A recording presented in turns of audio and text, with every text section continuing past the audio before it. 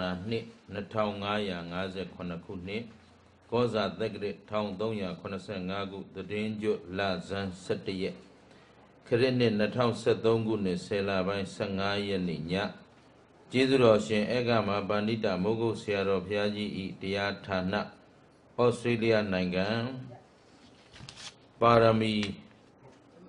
ဓမ္မရိပ်သာကျောင်းတော်အတွင်းရှိဓမ္မပူဇနိယနေရာဌာန၌ တရားဝဲဖြစ်မြောက်ရေးအကျိုးတော်ဆောင်များဖြစ်ကြသောဆရာတော်နှင့်အဖွဲ့ခရီးစရိတ်ဒါယကများဒေါက်တာသန်းဖေဒေါခင်ထေဝင်းမိသားစု အမေတော်မြတ်တွင်နှင့်တွင်တော်မြတ်တွင်နှင့်သားဒေါက်တာဇော်ဝင်းဦးမိသားစုဩစတြေးလျနိုင်ငံနှင့်တကွဥခင်ချိုဒေါခင်ဆွေလက်မိသားစုရန်ကုန်တို့မှအကျိုးဆောင်မှုနှင့်အတူကြွရောက်လာကြသော ဓမ္မမိတ်ဆွေအပေါင်းသူတော်ကောင်းတို့မှစုပေါင်းလှူဒန်းပြုလုပ်အပ်သောဓမ္မပူဇနိယကာလအခါသမယ၌တရားတော်နာကြွရောက်လာကြသောယောဂီသူတော်စင်များအားလုံး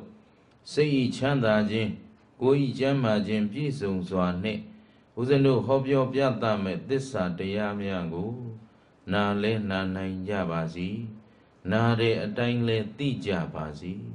သိတဲ့အတိုင်းလဲဒီဘဝဒီခန္ဓာမစွန့်ကြခင် ကိုဒုက္ခကိုလက်ဆသိမ့်အောင်ကြင်ကြံကြိုးကိုပွားများအားထုတ်နိုင်ကြပါစီလို့ရှေးဥစွာအားလုံးပဲမေတ္တာပို့သပေးလိုက်ပါတယ်နော်သစ္စာတရားတော်တို့ကိုဟောကြားရနိုင်သစ္စာလေးပါးမြတ်တရားတော်တို့ကိုဆရာမကူတယံဘူးညံတော်မြတ်ဖြင့်ကိုတော်တိုင်အကျွင်းမဲ့ထိုးတွင်သိမြင်အောင်မြင်တော်မူပြီးတတ္တဝဝိနည်းအပေါင်းတို့အား သစ္စာရေအေးအမြိုက်ဆေးတော်တို့ကို တိုက်ကြွတော်မူပေထသော မဟာကရုဏာတော်ရှင်ဗုဒ္ဓံမြတ်စွာဘုရားရှင်ကိုရောမြတ်ကြီးဤဂုံတော်ကျေးဇူးတော်မြတ်စွာဘုရားရှင်ကိုရောမြတ်ကြီးကောင်းစွာဟောကြားဆုံးမတော်မူခဲ့၍ဆုံးမတော်မူသည့်အတိုင်းလိုက်နာကျင့်ဆောင်သောပုဂ္ဂိုလ်အပေါင်းတို့အားကျင့်ဆောင်သူတို့အလျောက် အခါမလင့်သော အကျိုးကျေးဇူးအထူးတို့ကို ပေးစီတတ်သောဓမ္မံတရားတော်မြတ်တို့ဤဂုံတော်ကျေးဇူးတော်မြတ်စွာဘုရားရှင်ကိုရောမြတ်ကြီးဤအဆုံးအမဓမ္မဒေသနာတော်တို့အားယနေ့နှစ်ပေါင်း2558ခုနှစ်တိုင်တိုင်အဒွန့်ရှည်တည်တံ့ခိုင်မြဲအောင်အစဉ်အဆက်ထိမ့်သိမ့်စောင့်ရှောက်တော်မူလာကြကုန်သောတန်ခံတန်ဃာတော်မြတ်အပေါင်းတို့ဤ ဂုံတော်ကျေးဇူးတော်နှင့်တကွာဦးဇင်းအားဤသစ္စာလေးပါးမြတ်တရားတော်တို့ကိုကိုယ်တိုင်လည်းနာကြားသိရှိနိုင်အောင်ယောဂီအပေါင်းသူတော်ကောင်းတို့အားလည်းယခုကဲ့သို့တဖန်ပြန်လဲဟောပြောညွှန်ကြားပြသနိုင်အောင်နီးပေလမ်းပြသွန်သင်ဆုံးမပေးတော်မူခဲ့ကြသောဘဝတစ်ပါးသို့ကွယ်လွန်အနိစ္စရောက်သွားကြပြီဖြစ်သောမွေးတဖခင်ကျေးဇူးရှင်နှင့်မွေးသမိခင်ကျေးဇူးရှင်ကြီးတို့၏ဂုဏ်ကျေးဇူး ဆရာသခင်ဖြစ်တော်မူသောကျေးဇူးတော်ရှင်အကမဟာပန္တိတမိုးကုတ်ဆရာတော်ဘုရားကြီးဤသီလဂုံတမာတိဂုံပညာဂုံတို့အားပူဇော်သောအဖြစ်၎င်းကျေးဇူးဆက်သောအဖြစ်၎င်းဦးဇင်း၏မျက်မှောက်သို့ယနေ့တရားနာကြွရောက်လာသောတန်တရာဤဆွေတော်မျိုးတော်အပေါင်းတို့အားကျေးဇူးဆက်သောအနေနဲ့ဟောကြားသွားမယ်ဓမ္မဒေသနာယဓမ္မပူဇနိယ ဓမ္မဒါနကောင်းမှုနိဗ္ဗာန်စုနတ်လူသာဓုခေါ်စေတော်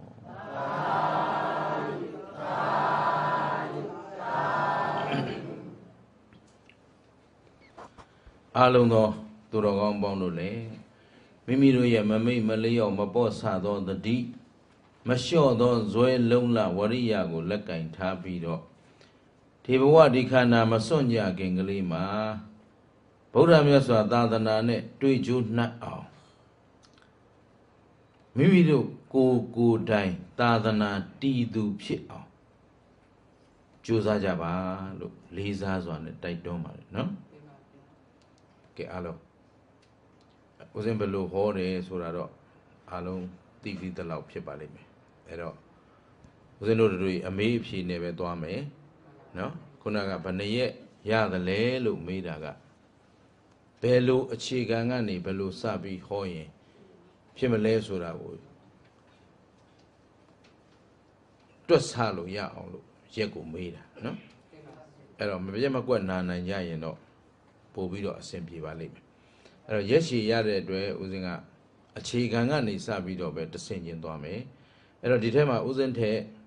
ပုံမတက်ကျွမ်းတဲ့ပုံကိုယ်တွေနားလည်ပြီးသားပုံကိုယ်တွေလည်းပါကောင်းပါလိမ့်မယ် အဲ့လိုပါခဲ့လို့ဦးဇင်းပြောခဲ့တဲ့အဲမှာအချွတ်ချော်အတိမ်ဆောင်ရှိခဲ့ရင်လေပညာရှိများဖြစ်တဲ့သူတော်ကောင်းတို့ကပြင်ပေးနိုင်တယ်ဟုတ်လားဖြည့်ဆွတ်ပေးနိုင်တယ်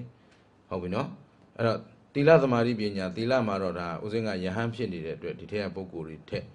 တာပြီးသားဖြစ်တယ်တမာဓိပညာမှာဦးဇင်းထက်တာနိုင်တဲ့ပုံကိုယ်တွေပါကောင်းပါနိုင်ပါတယ်ဒီအတွက်ဦးဇင်းကြိုပြီးတော့ပြောကြားခြင်းဖြစ်ပါတယ် အဲ့တော့သိပြီးသားပုဂ္ဂိုလ်ကလည်းပို၍ရှင်းလင်း၍သိအောင်နဲ့အမှားယွင်းပါရင်ဦးဇင်းကိုထောက်ပြနိုင်တယ်ဆိုတဲ့အကြောင်းလဲဦးဇင်းကပန်ကြားတယ်နော်ကဲကောင်းပြီအဲ့တော့စမယ်စမယ်ဆိုတော့အလုံးသိပြီးသားပဲသာသနာဆိုတာပါပဲဘု து အဆုံးပါအဲ့ဒါလေးရေးကြည့်တယ်အဆုံးမဆိုတာဥဒုမင်္ဂလာအဆုံးမလားဟာလားဥဝိစာရအဆုံးမလားအရမို့ဒေါက်တာသန်းဖေရဲ့အဆုံးမလားအဆုံးမတွေအများကြီးရှိတာဟုတ်ကလား ဘု து အဆုံးမသဗ္ဗညုတဉာဏ်တော်ရှင်ဗုဒ္ဓရှင်တော်မြတ်ဖရာရဲ့အဆုံးမ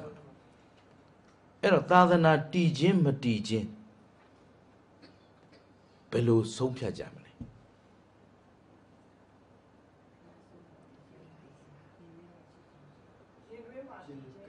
အဲဟုတ်ပြီအဲ့တော့သာသနာဆိုတာအဆုံးအမမြတ်စွာဘုရားရဲ့အဆုံးအမကိုယုံကြည်သူမရှိရင် သာသနာတည်အောင်မလားတည်နိုင်တော့တစ်ချက်နှစ်ချက်ကယုံကြည်ပြီဟုတ်တယ်ယုံတော့ယုံကြတယ်လိုက်နာကျင့်သုံးတဲ့လူမရှိရင်ကောမတည်နိုင်ဘူးအဲ့တော့သာသနာမှာဘုရားဆုံးမသွားတဲ့အဆုံးအမသာသနာဘယ်နှရက်ရှိလဲပြောပါပြောပါတို့ကလေးတွေလို့ပဲသင်ရမယ်ဘယ်နှရက်တော့3ရက်ဘာတွေလဲ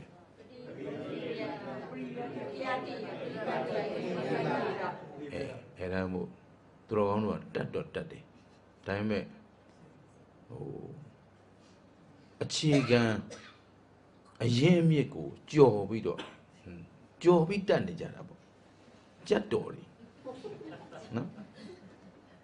ပြောပြမယ်သာသနာဘုရားရဲ့အဆုံးအမသာသနာ300ရှိရတော့မှန်တယ်3ဆိုတဲ့ကဏ္ဍတော့မှန်ဒါပေမဲ့သာသနာနဲ့သာသနာပြုနည်းနှစ်ခုရောနေ သာသနာကသီလရယ်တမာတိရယ်ပညာရယ်ဒီအပိုင်း၃ပိုင်းပဲရှိတယ် this is called သာသနာပေါ့နော်သာသနာဆိုတာဘာလဲလို့မေးရင်သာသနာတော်သည်သီလသာသနာသီလနဲ့ပတ်သက်တဲ့အဆုံးအမတမာရိသာသနာတမာရိနဲ့ပတ်သက်တဲ့အဆုံးအမပညာသာသနာပညာနဲ့ပတ်သက်တဲ့အဆုံးအမသာသနာဘယ်နှရက်လဲအဲ့တော့သာသနာဘယ်နှရက်ရှိလဲလို့မေးရင်၃ရက်မှန်တယ်ဘာတွေလဲလို့မေးရင်သူတော်ကောင်းတို့ဖြေရမှာ သီလသာသနာတမာရိသာသနာပညာသာသနာပါဖရာအဲ့ဒီမှာပရိယတ္တိဆိုတာဘာလဲပရိယတ္တိဆိုတာသာသနာအဆုံးအမကိုသိအောင်လုပ်တာပရိယတ္တိဒါကြတော့သာသနာပြုနည်းဟုတ်ပလားဒါသာသနာမဟုတ်ဘူးသာသနာပြုနည်းကိုသာသနာနဲ့ရောထွေးစွာပြောဆိုနေခဲ့ကြတဲ့အတွက်အဲသာသနာဟာဘာလဲလို့တိတိကျကျမသိတဲ့အတွက် ဘယ်ဟာဆောင်းရမှမသိဘူးပရိယတ္တိဆောင်းနေတာသာသနာလားပရိပတ်တိဆောင်းနေတာသာသနာလားပရိဝေဒဆောင်းနေတာသာသနာလားလို့ဒီလိုရောထွေးရှက်တင်ဖြစ်နေဒါမို့သာသနာဆိုတာတိမတိဘလို့ဆုံးဖြတ်မှာလဲလို့ကြုံမေးတာဦးဇင်းပြောရှင်းလားမရှင်းပြန်ပြောနော်တို့အချိန်ရတယ်တို့ဒီဒီဦးဇင်းကတနာကြီးတနာကြီးပူပူစကားပြောမယ်ပြီးရင်15မိနစ်တရားထိုင်ရမယ်အားလုံး ရမလားမရရရလောက်ရတော့မှာပဲကြိုးရှိရောက်လာဟုတ်ပြီနော်15မိနစ်ထိုင်ပြီးရင်မေတ္တာပို့မယ်သစ္စာဆိုမယ်ပြီးမှပြန်ကြမယ်ဟုတ်ပြီနော်အဲ့တော့အခုသာသနာဆိုတာလေးကိုအရင်သုံးသပ်မယ်သာသနာဆိုတာအဆုံးမအဆုံးမသည်၃ရပ်ပဲရှိတယ်သီလရဲ့သမာဓိရဲ့အဲ့ဒီသီလသမာဓိပညာအကြောင်းကိုသိအောင်သင်တာလေ့လာတာဟုတ်တော့သင်တယ်ကြားတယ်လေ့လာတယ် သင်တယ်ဆိုတာစနစ်တကျသင်တာသင်တန်းနေတက်ပြီးတော့ဟုတ်လားအခုပရိယတ်ဒီအတွက်ဟိုဘုန်းကြီးကျောင်းတွေမှာကိုရင်လေးတွေတာမဏေလေးတွေဦးစင်လေးတွေစာလိုက်နေကြတယ်စာသင်နေကြတယ်တကယ်တော့သူတို့ကစာသင်တာမဟုတ်ဘူးဒီဖရားရဲ့အဆုံးအမကိုသိအောင်သင်နေတာအဲ့လို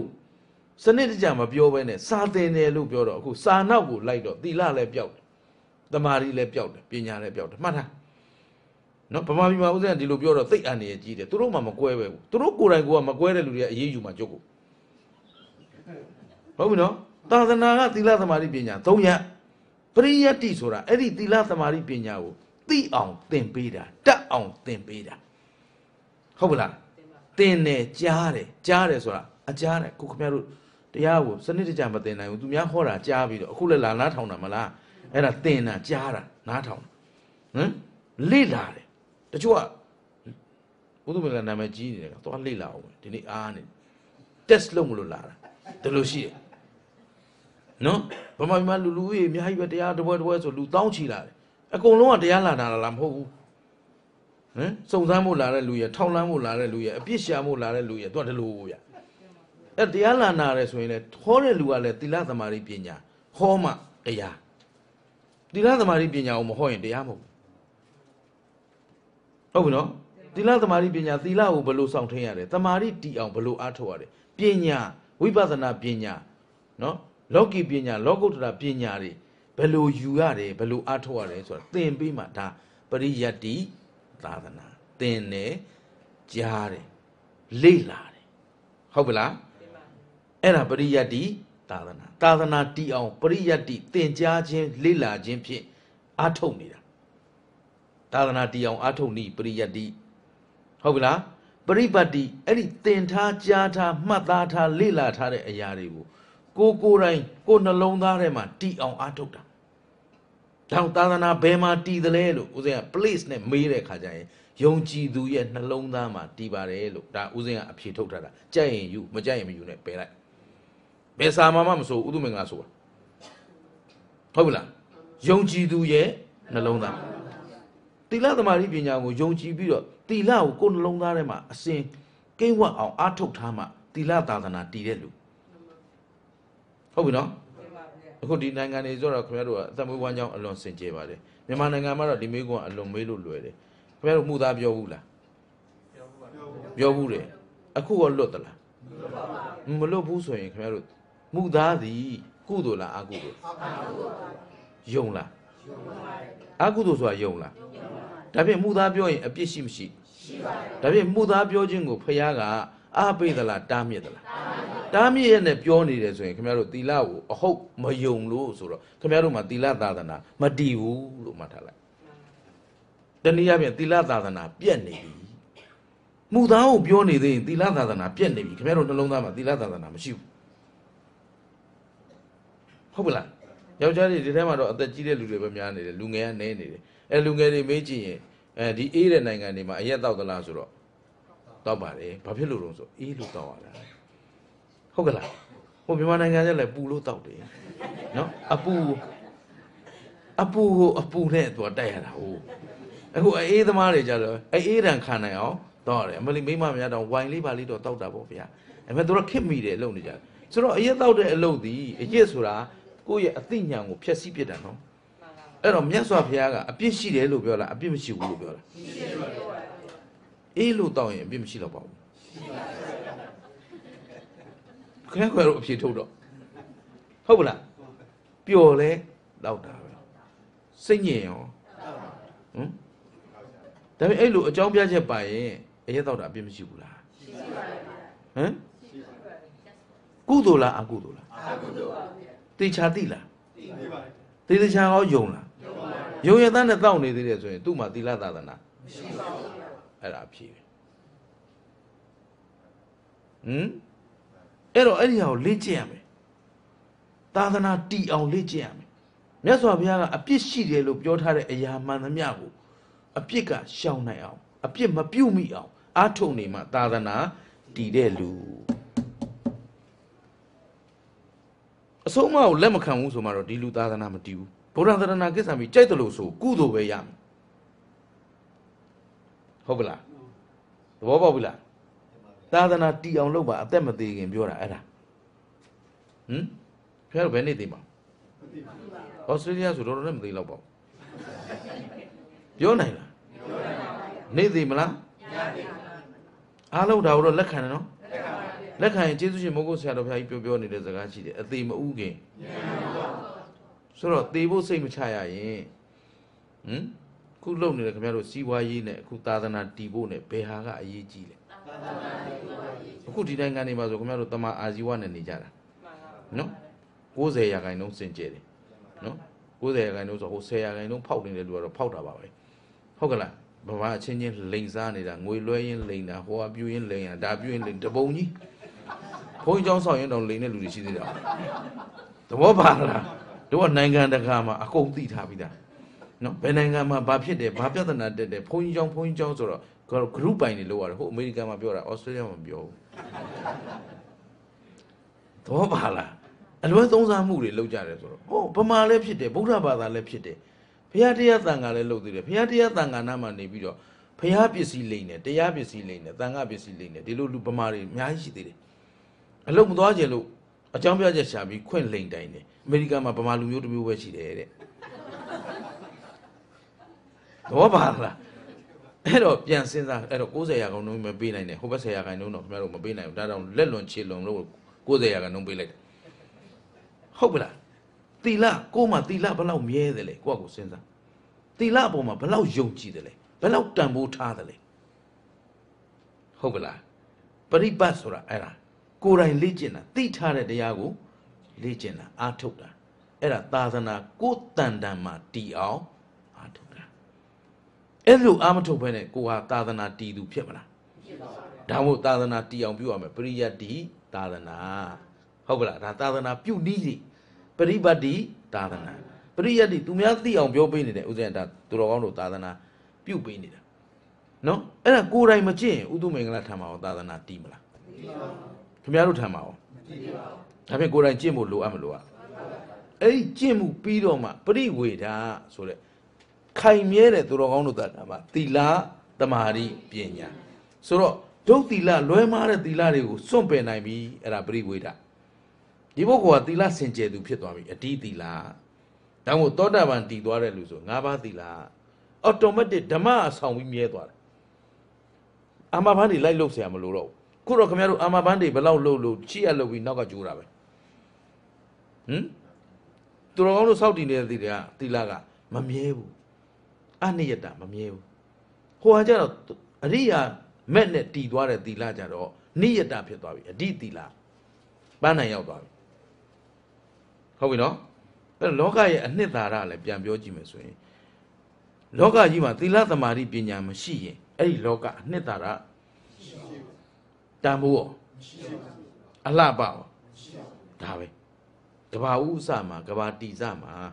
ဘုရားပွင့်မဲ့ကဘာဆိုရင်ကြာဘူးထဲမှာသင်္ကန်းပါလာတယ်ကြာဘူးမှာပေါ့အဲ့တော့မြမာတွေကကဘာကြီးတစ်ခုအစ်စ်ဖြစ်လာပြီဆိုသူတို့ဆင်းကြည့်ကြတယ်သင်္ကန်းပါမှာပါဆင်းကြည့်တယ်သင်္ကန်းတစ်စုံပါရင်ဘုရားတစ်စုပွင့်မယ်ငါးစုံပါရင်ငါးစုပွင့်မယ်ကဘာတစ်ခုမှာငါးစုတဲ့ပိုပွင့်နိုင်တဲ့ကဘာမရှိဘူးဒါရကဘာမာနကဘာဒါရမာနကဘာဘာညာပေါ့ဗျာခင်ဗျားတို့ဒါမှတ်နေရရှုပ်တယ်တဆူနှစ်ဆူသုံးဆူလေးဆူငါးဆူအလွန်ဆုံးဘယ်နှပွင့်ဘယ်နှဆူပွင့် ကြာပန်းမှာအဲ့ဒီကဘာဥကပွင့်တဲ့ကြာပန်းပေါ်မှာဘာသင်္ကန်းမှာပါမလာရင်နတ်တွေပြမာတွေကငိုတယ်အချီးနီးသောကဘာဖြစ်ပြီးအနှစ်မရှိတဲ့ကဘာတန်ဖိုးမရှိတဲ့ကဘာမလှပတဲ့ကဘာကြီးပဲဆိုပြီးတော့စိတ်ပြက်ကြတယ်ဘာဖြစ်ဆိုတော့အဲ့ဒီမှာကုသိုလ်တရားမထွန်းကားတော့ဘူးသူတို့ကိုသီလသမารိပညာလမ်းကြောင်းပေးမဲ့ပုဂ္ဂိုလ်မပေါ်ထွန်းဘူးမပေါ်ထွန်းတော့သီလသမารိပညာမရှိတဲ့အတွက် ကုသိုလ်ကောင်းမှုလုံးမဲ့လူမရှိတော့အဲ့ဒီကဘာကတတ္တဝါတွေဟာသေပြီးရင်ငရဲပဲသွားကြတယ်နတ်ပြည်ပြမပြည်လာမဲ့ပုဂ္ဂိုလ်မရှိသလောက်ရှား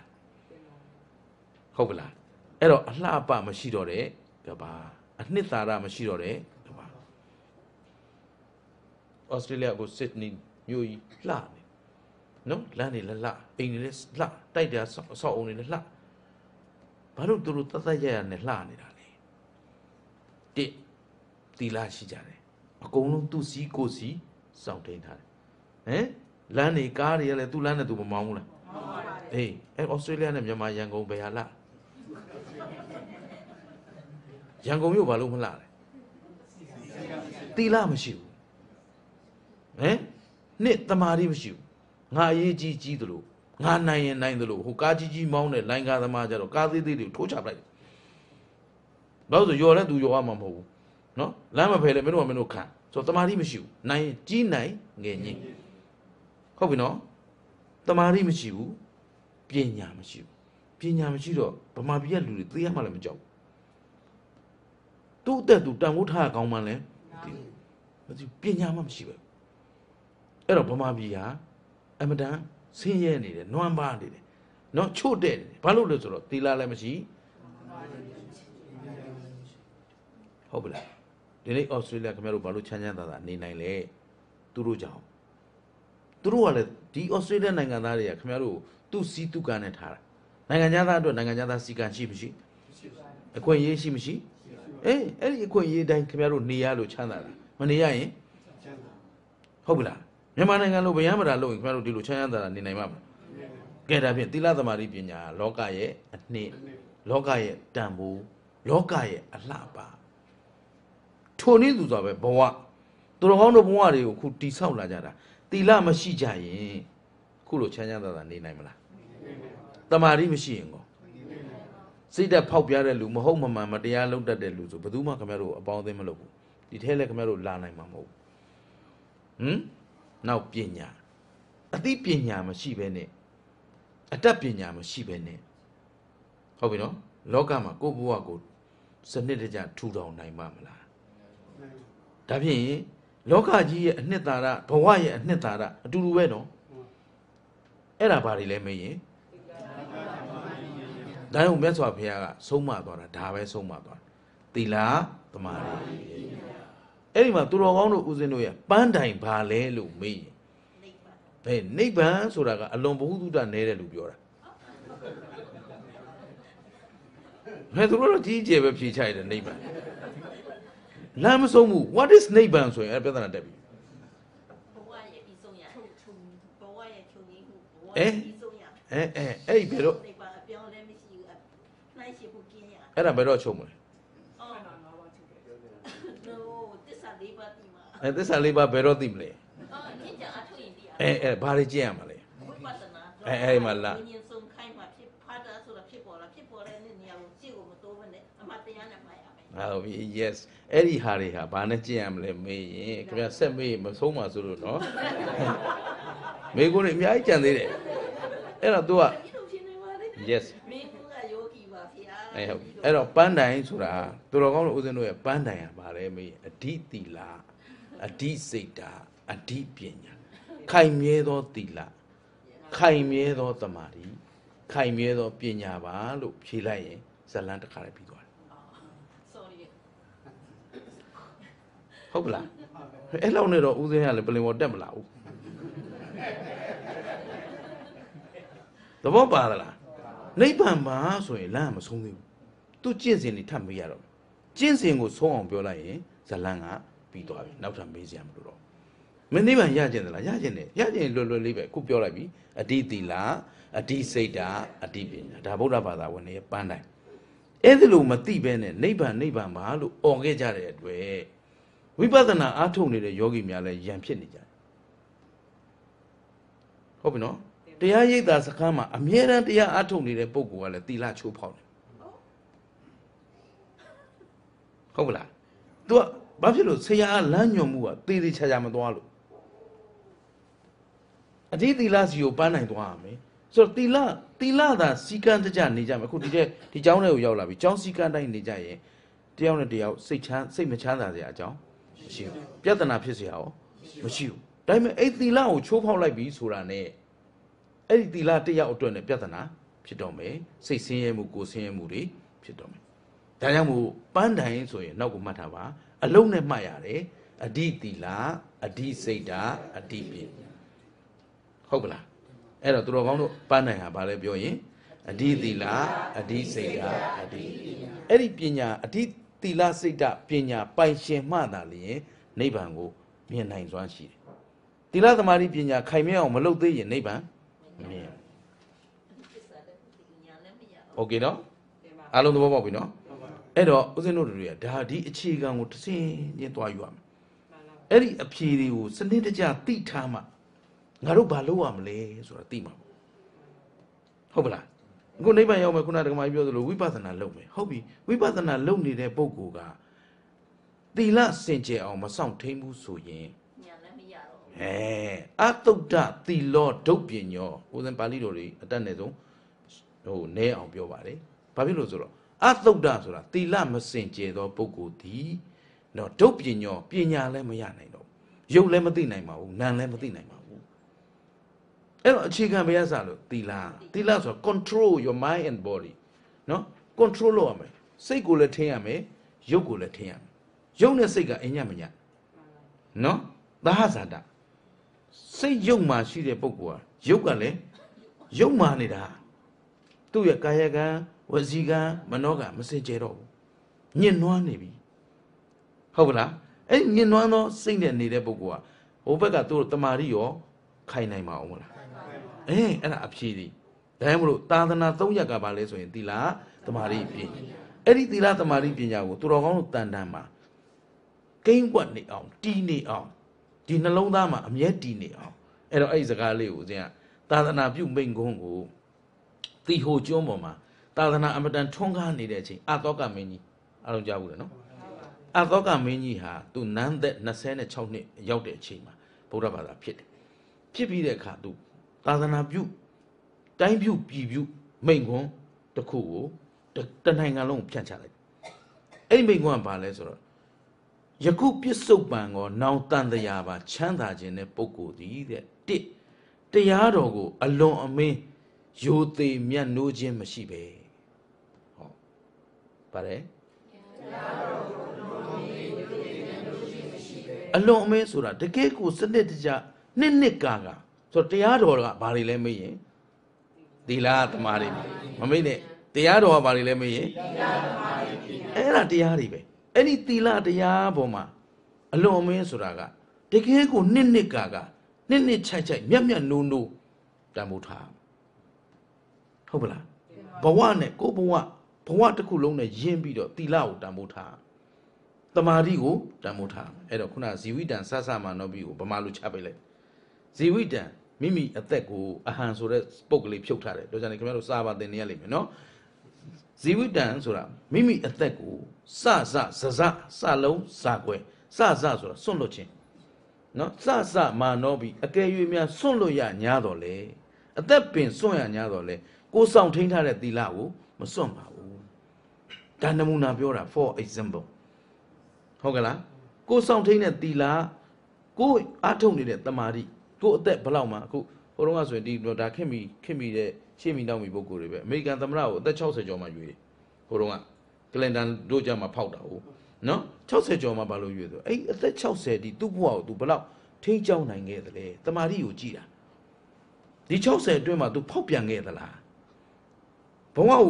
တိဆောက်တဲ့နေရာမှာစနစ်ကြရဲ့လားဟင်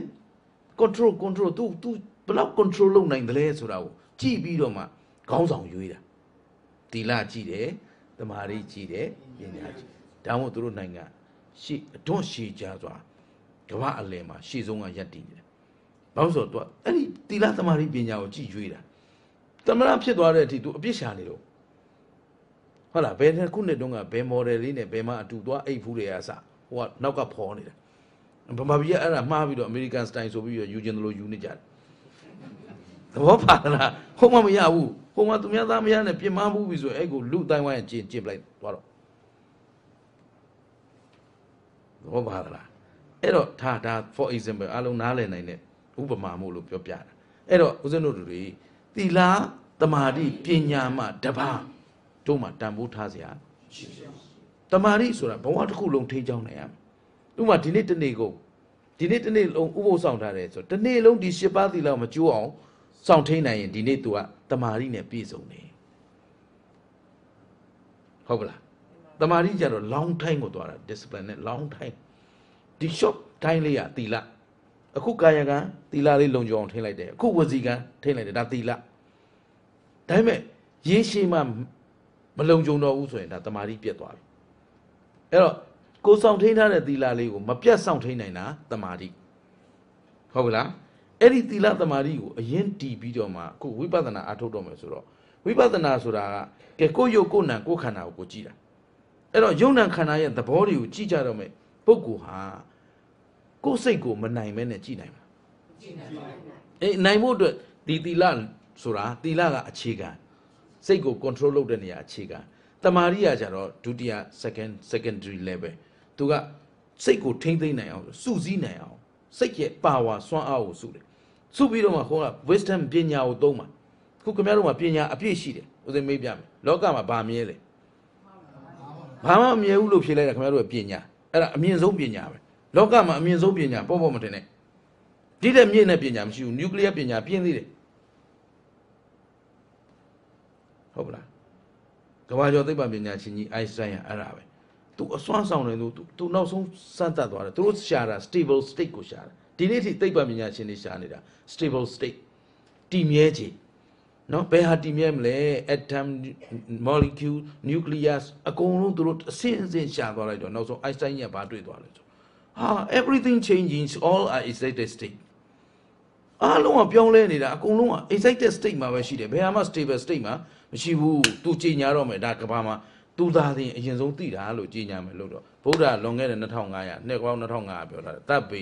သင်္ခါရအိဋ္ဌာသူပဲ့လက်လန်သွားနောက်ဆုံးဗုဒ္ဓဘာသာဖြစ်သွားသဘောပါလားအဲ့ဒါအမြင့်ဆုံးပညာခင်ဗျားတို့သိတယ်ဒါပေမဲ့အဲ့ဒါကိုမသုံးနိုင်တာဒီတစ်သီလအတွက်ခင်ဗျားတို့မှာ discipline မရှိဘူးငါသီလကိုဘယ်လိုစင်ကြယ်အောင်ငါကိုယ်ကိုဘယ်လိုစင်ကြယ်တဲ့သီလပိုင်ရှင်ဖြစ်ရမဲလို့ဆုံးဖြတ်ချက်တွေချဘူးသလားလို့ကိုကိုကိုကိုကိုကိုမေးဦးစင်းကိုဖြေတဲ့ ဟုတ်ပလားဦးစင်းကိုဖြေလို့လည်းဘာမှမထူးဦးစင်းစုပေးမှလည်းမဟုတ်ဘူးသဘောပါသလားဖះသွားဖြေရင်ရောဖះစုပေးမလားတို့ဖះကစုလည်းမပေးဘူးအပြစ်လည်းမပေးဘူးအဲသူ့လုံးမဟုတ်ဘူးကံကိုဆုံးဖြတ်ပေးမှတရားဥပမာလွယ်လွယ်လေးပြောမယ်နော်တခါကြီးဥဒန်းဖေးနဲ့ဦးစင်းနဲ့ပဲဆိုကြပါစို့အခုသူသွားလာတယ်တခါကြီးဥဒန်းဖေးကဦးစင်းကိုဝစီကံနဲ့ ပြစ်မှားလိုက်မှာဟာကိုတော့ဘာဖြစ်တယ်ညာဖြစ်တယ်ပြောလိုက်ဟုတ်ပြီနော်ဝစီကံနဲ့ဆိုတော့ဦးစင်းကိုကံနဲ့ပြစ်မှားလိုက်ပြီဆိုကြပါစို့ပြစ်မှားပြီးတော့ဥဒန်းဖေးနောက်ပြန်ကန်ပြီးတော့နောင်နာရအရှင်ဗျာ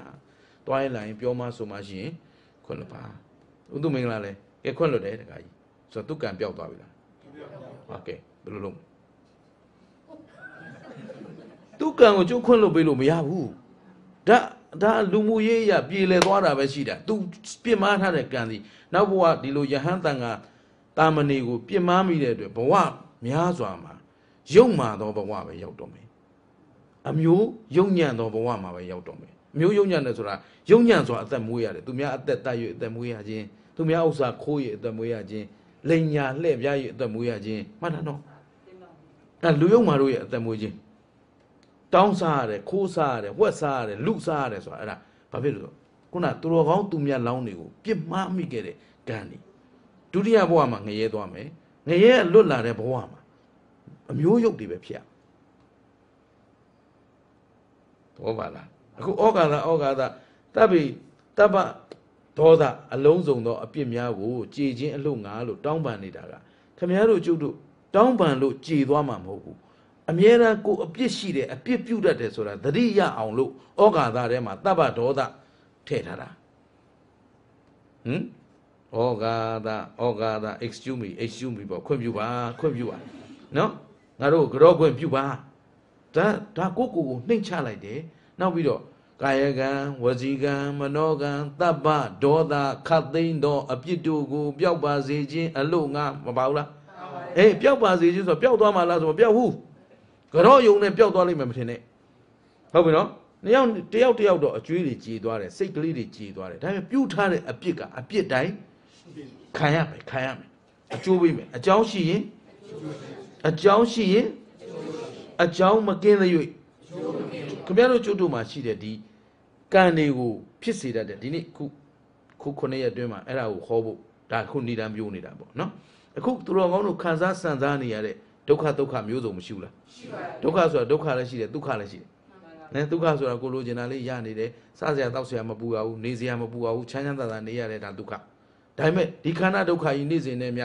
နော်ဆာလောင်လာပြန်ပြီချဲရပြောရပြန်ပြီကျွေးရမွေးရပြန်ပြီအဝလဲရပြန်ပြီရေချိုးရပြန်ပြီနာစီပြန်ပြီချောင်းဆိုးပြန်ဟာရှုပ်ချက်ကိုခတ်နေဟုတ်ကလားဘယ်လောက်အေးအေးအလုတ်ကသွားရတယ်မဟုတ်ဆိုမသွားလို့မမြင်ပါဒီခန္ဓာဝကြီးဒါကြီးကျွေးဖို့ဟုတ်တယ်နော်အဲ့တော့ဒုက္ခလည်းရှိတယ်ဒုက္ခလည်းရှိတယ် အဲ့ဒါတွေဘယ်ကလာသလဲတရားခံဘယ်သူလဲဆိုတာဦးဇင်းတို့ကအကြောင်းကျိုးနဲ့သွားမှာအဲ့ဒီကိုသွားဖို့အတွက်အခုဏိဒန်းချီနေတာဏိဒန်းသာချီတယ်နိုင်ရောကျော်သွားပြီ45မိနစ်ချီတယ်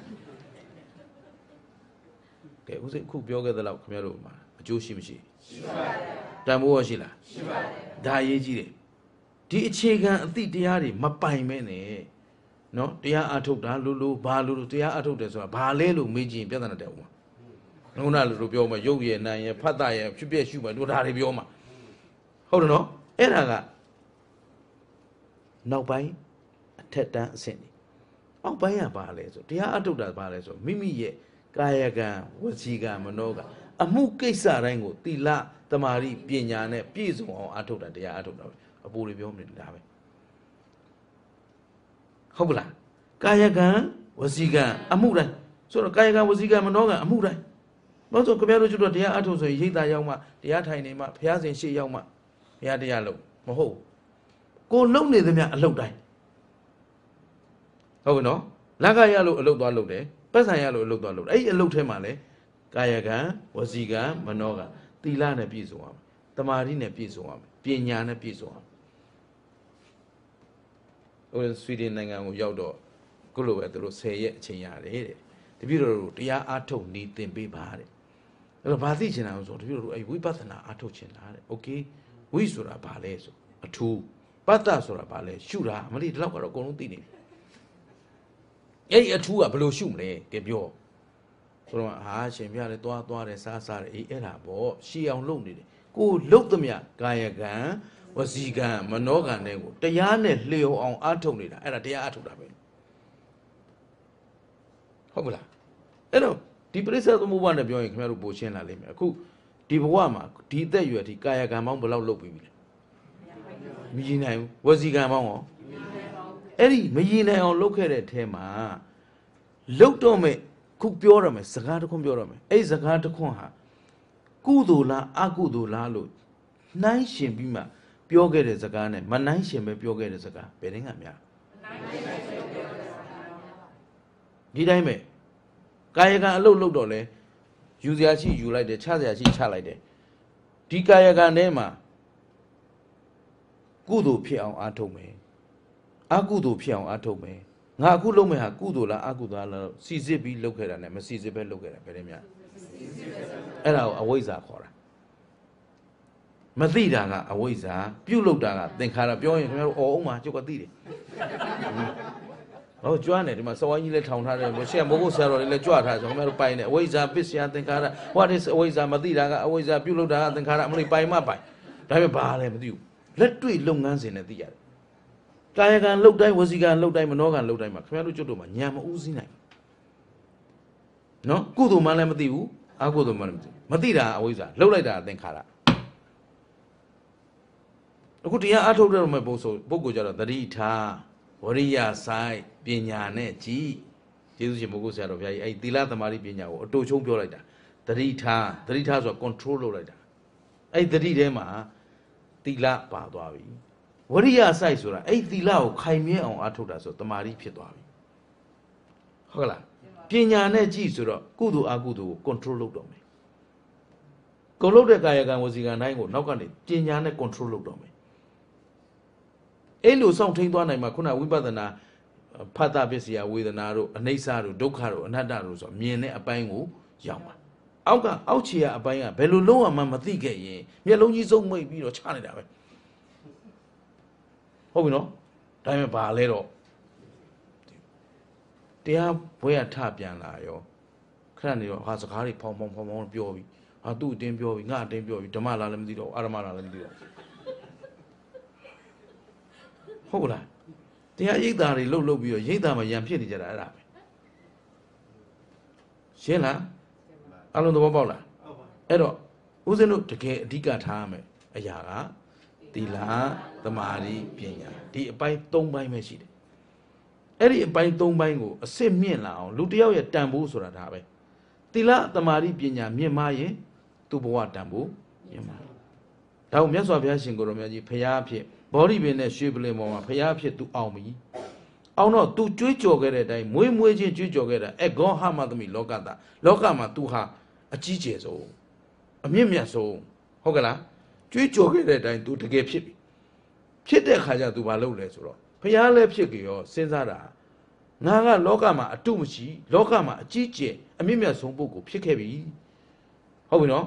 ဒါပေမဲ့ငါမှာအားကိုးရမရှိလို့မဖြစ်ဘူးငါဘာအားကိုးမလဲ အားကိုးမလဲဆိုတာကိုယ့်အတွက်အမြဲလက်ကင်ထားတဲ့တရားမရှိရင်အဲ့ဒီပုဂ္ဂိုလ်ဟာဗျမ်းပရာပုဂ္ဂိုလ်ရှင်းမလားဒါမှမဟုတ်ဖះကအတုမရှိဖះပဲလောကကြီးကို तू အောင်မြင်သွားပြီအောင်မြင်သွားပြီမဲ့ तू လက်ကင်ထားเสียတရားတော့လိုအပ်တယ်ဥမာရှင်ဘရင်ဖြစ်ရင်တန်လျက်ကင်တယ်လို့ဟုတ်ကလားဟုတ်လားသမရဖြစ်တယ် तू သမရအဆောင်ရောင်အနှင်းတယ်လို့တူတူပဲမြတ်စွာဘုရားရဲ့အဆောင်အယောင်ကဘာလဲ ဘုရားရှာဓမ္မအဲ့တော့ဓမ္မဘာတွေလဲ what kinds of ဓမ္မဆိုတော့သီလဓမ္မသမာโอเคနော်သီလဓမ္မသမာဓိဓမ္မပညာဓမ္မအဲ့ဒီဓမ္မတွေကိုငါလက်ကင်ထားရမှာပါလားငါရဲ့အာကိုးစရာဒါပဲလို့ तू ဆုံးဖြတ်တဲ့အတွက်ဘုရား၅စု6စုမိခဲ့တဲ့တဟံပတိပြမှာဆင်ထောက်ခံတယ်လို့အားလုံးကြားဘူးလေနော်အဲ့တော့ထောက်ခံတော့ vote ပေးတာပေါ့နော်အဲ့ဒီ vote ပေးမဲ့လူရှိမှ proof လုပ်မဲ့လူရှိမှဒါကဟိုဓမ္မအသက်သေလို့လေ အာရမအသက်သေမလို့ဟုတ်မလားဓမ္မအတွက်အချိန်ဆောင်ရတယ်အာရမသမားတွေကတော့အခုလှုပ်ချင်တိုင်းလှုပ်ပြီးသူတို့အောင်မြင်တယ်သူတို့ထင်တာဒါပေမဲ့အဲ့အာရမအကျိုးပေးတဲ့အချိန်သူတို့အတွက်နော်ဆိုးကျိုးတွေလာတော့ဒါပေမဲ့အဲ့ဒါခင်ဗျားတို့ကျိုးတို့ကတခုစဉ်းစားရမယ်သူများအာရမလုံနေတာကိုကိုကဒီကောင်းဒီဘယ်တော့ပြည့်စည်မလဲလို့ဘယ်တော့မှမကြံနဲ့နော်အဲ့ဒါ तू အကုသိုလ်ကကိုယ်စီရောက်နေတာသဘောပါသလား ဟမ်အဲ့ဒါဗမာလူမျိုးတွေအတွက်အကုန်ထိရောက်တဲ့စကားပါနော်အကုန်လုံးချိန်စာတိုက်နေတာချိန်စာတိုက်လေဟိုကကျမ်းပါလေအဲ့ဒါသူ့ကိစ္စသူ့ကိစ္စသူ့အကျိုးပေးချိန်တန်မှသူ့အကျိုးပေးမှာဘယ်တော့အကျိုးပေးမှာငါတို့မြင်အောင်မလားဆိုတာဒါကအကြောင်းပါမှမြင်ရမှာခမည်းတော်တို့တွေကျုပ်တို့တွေကသူတို့လောက်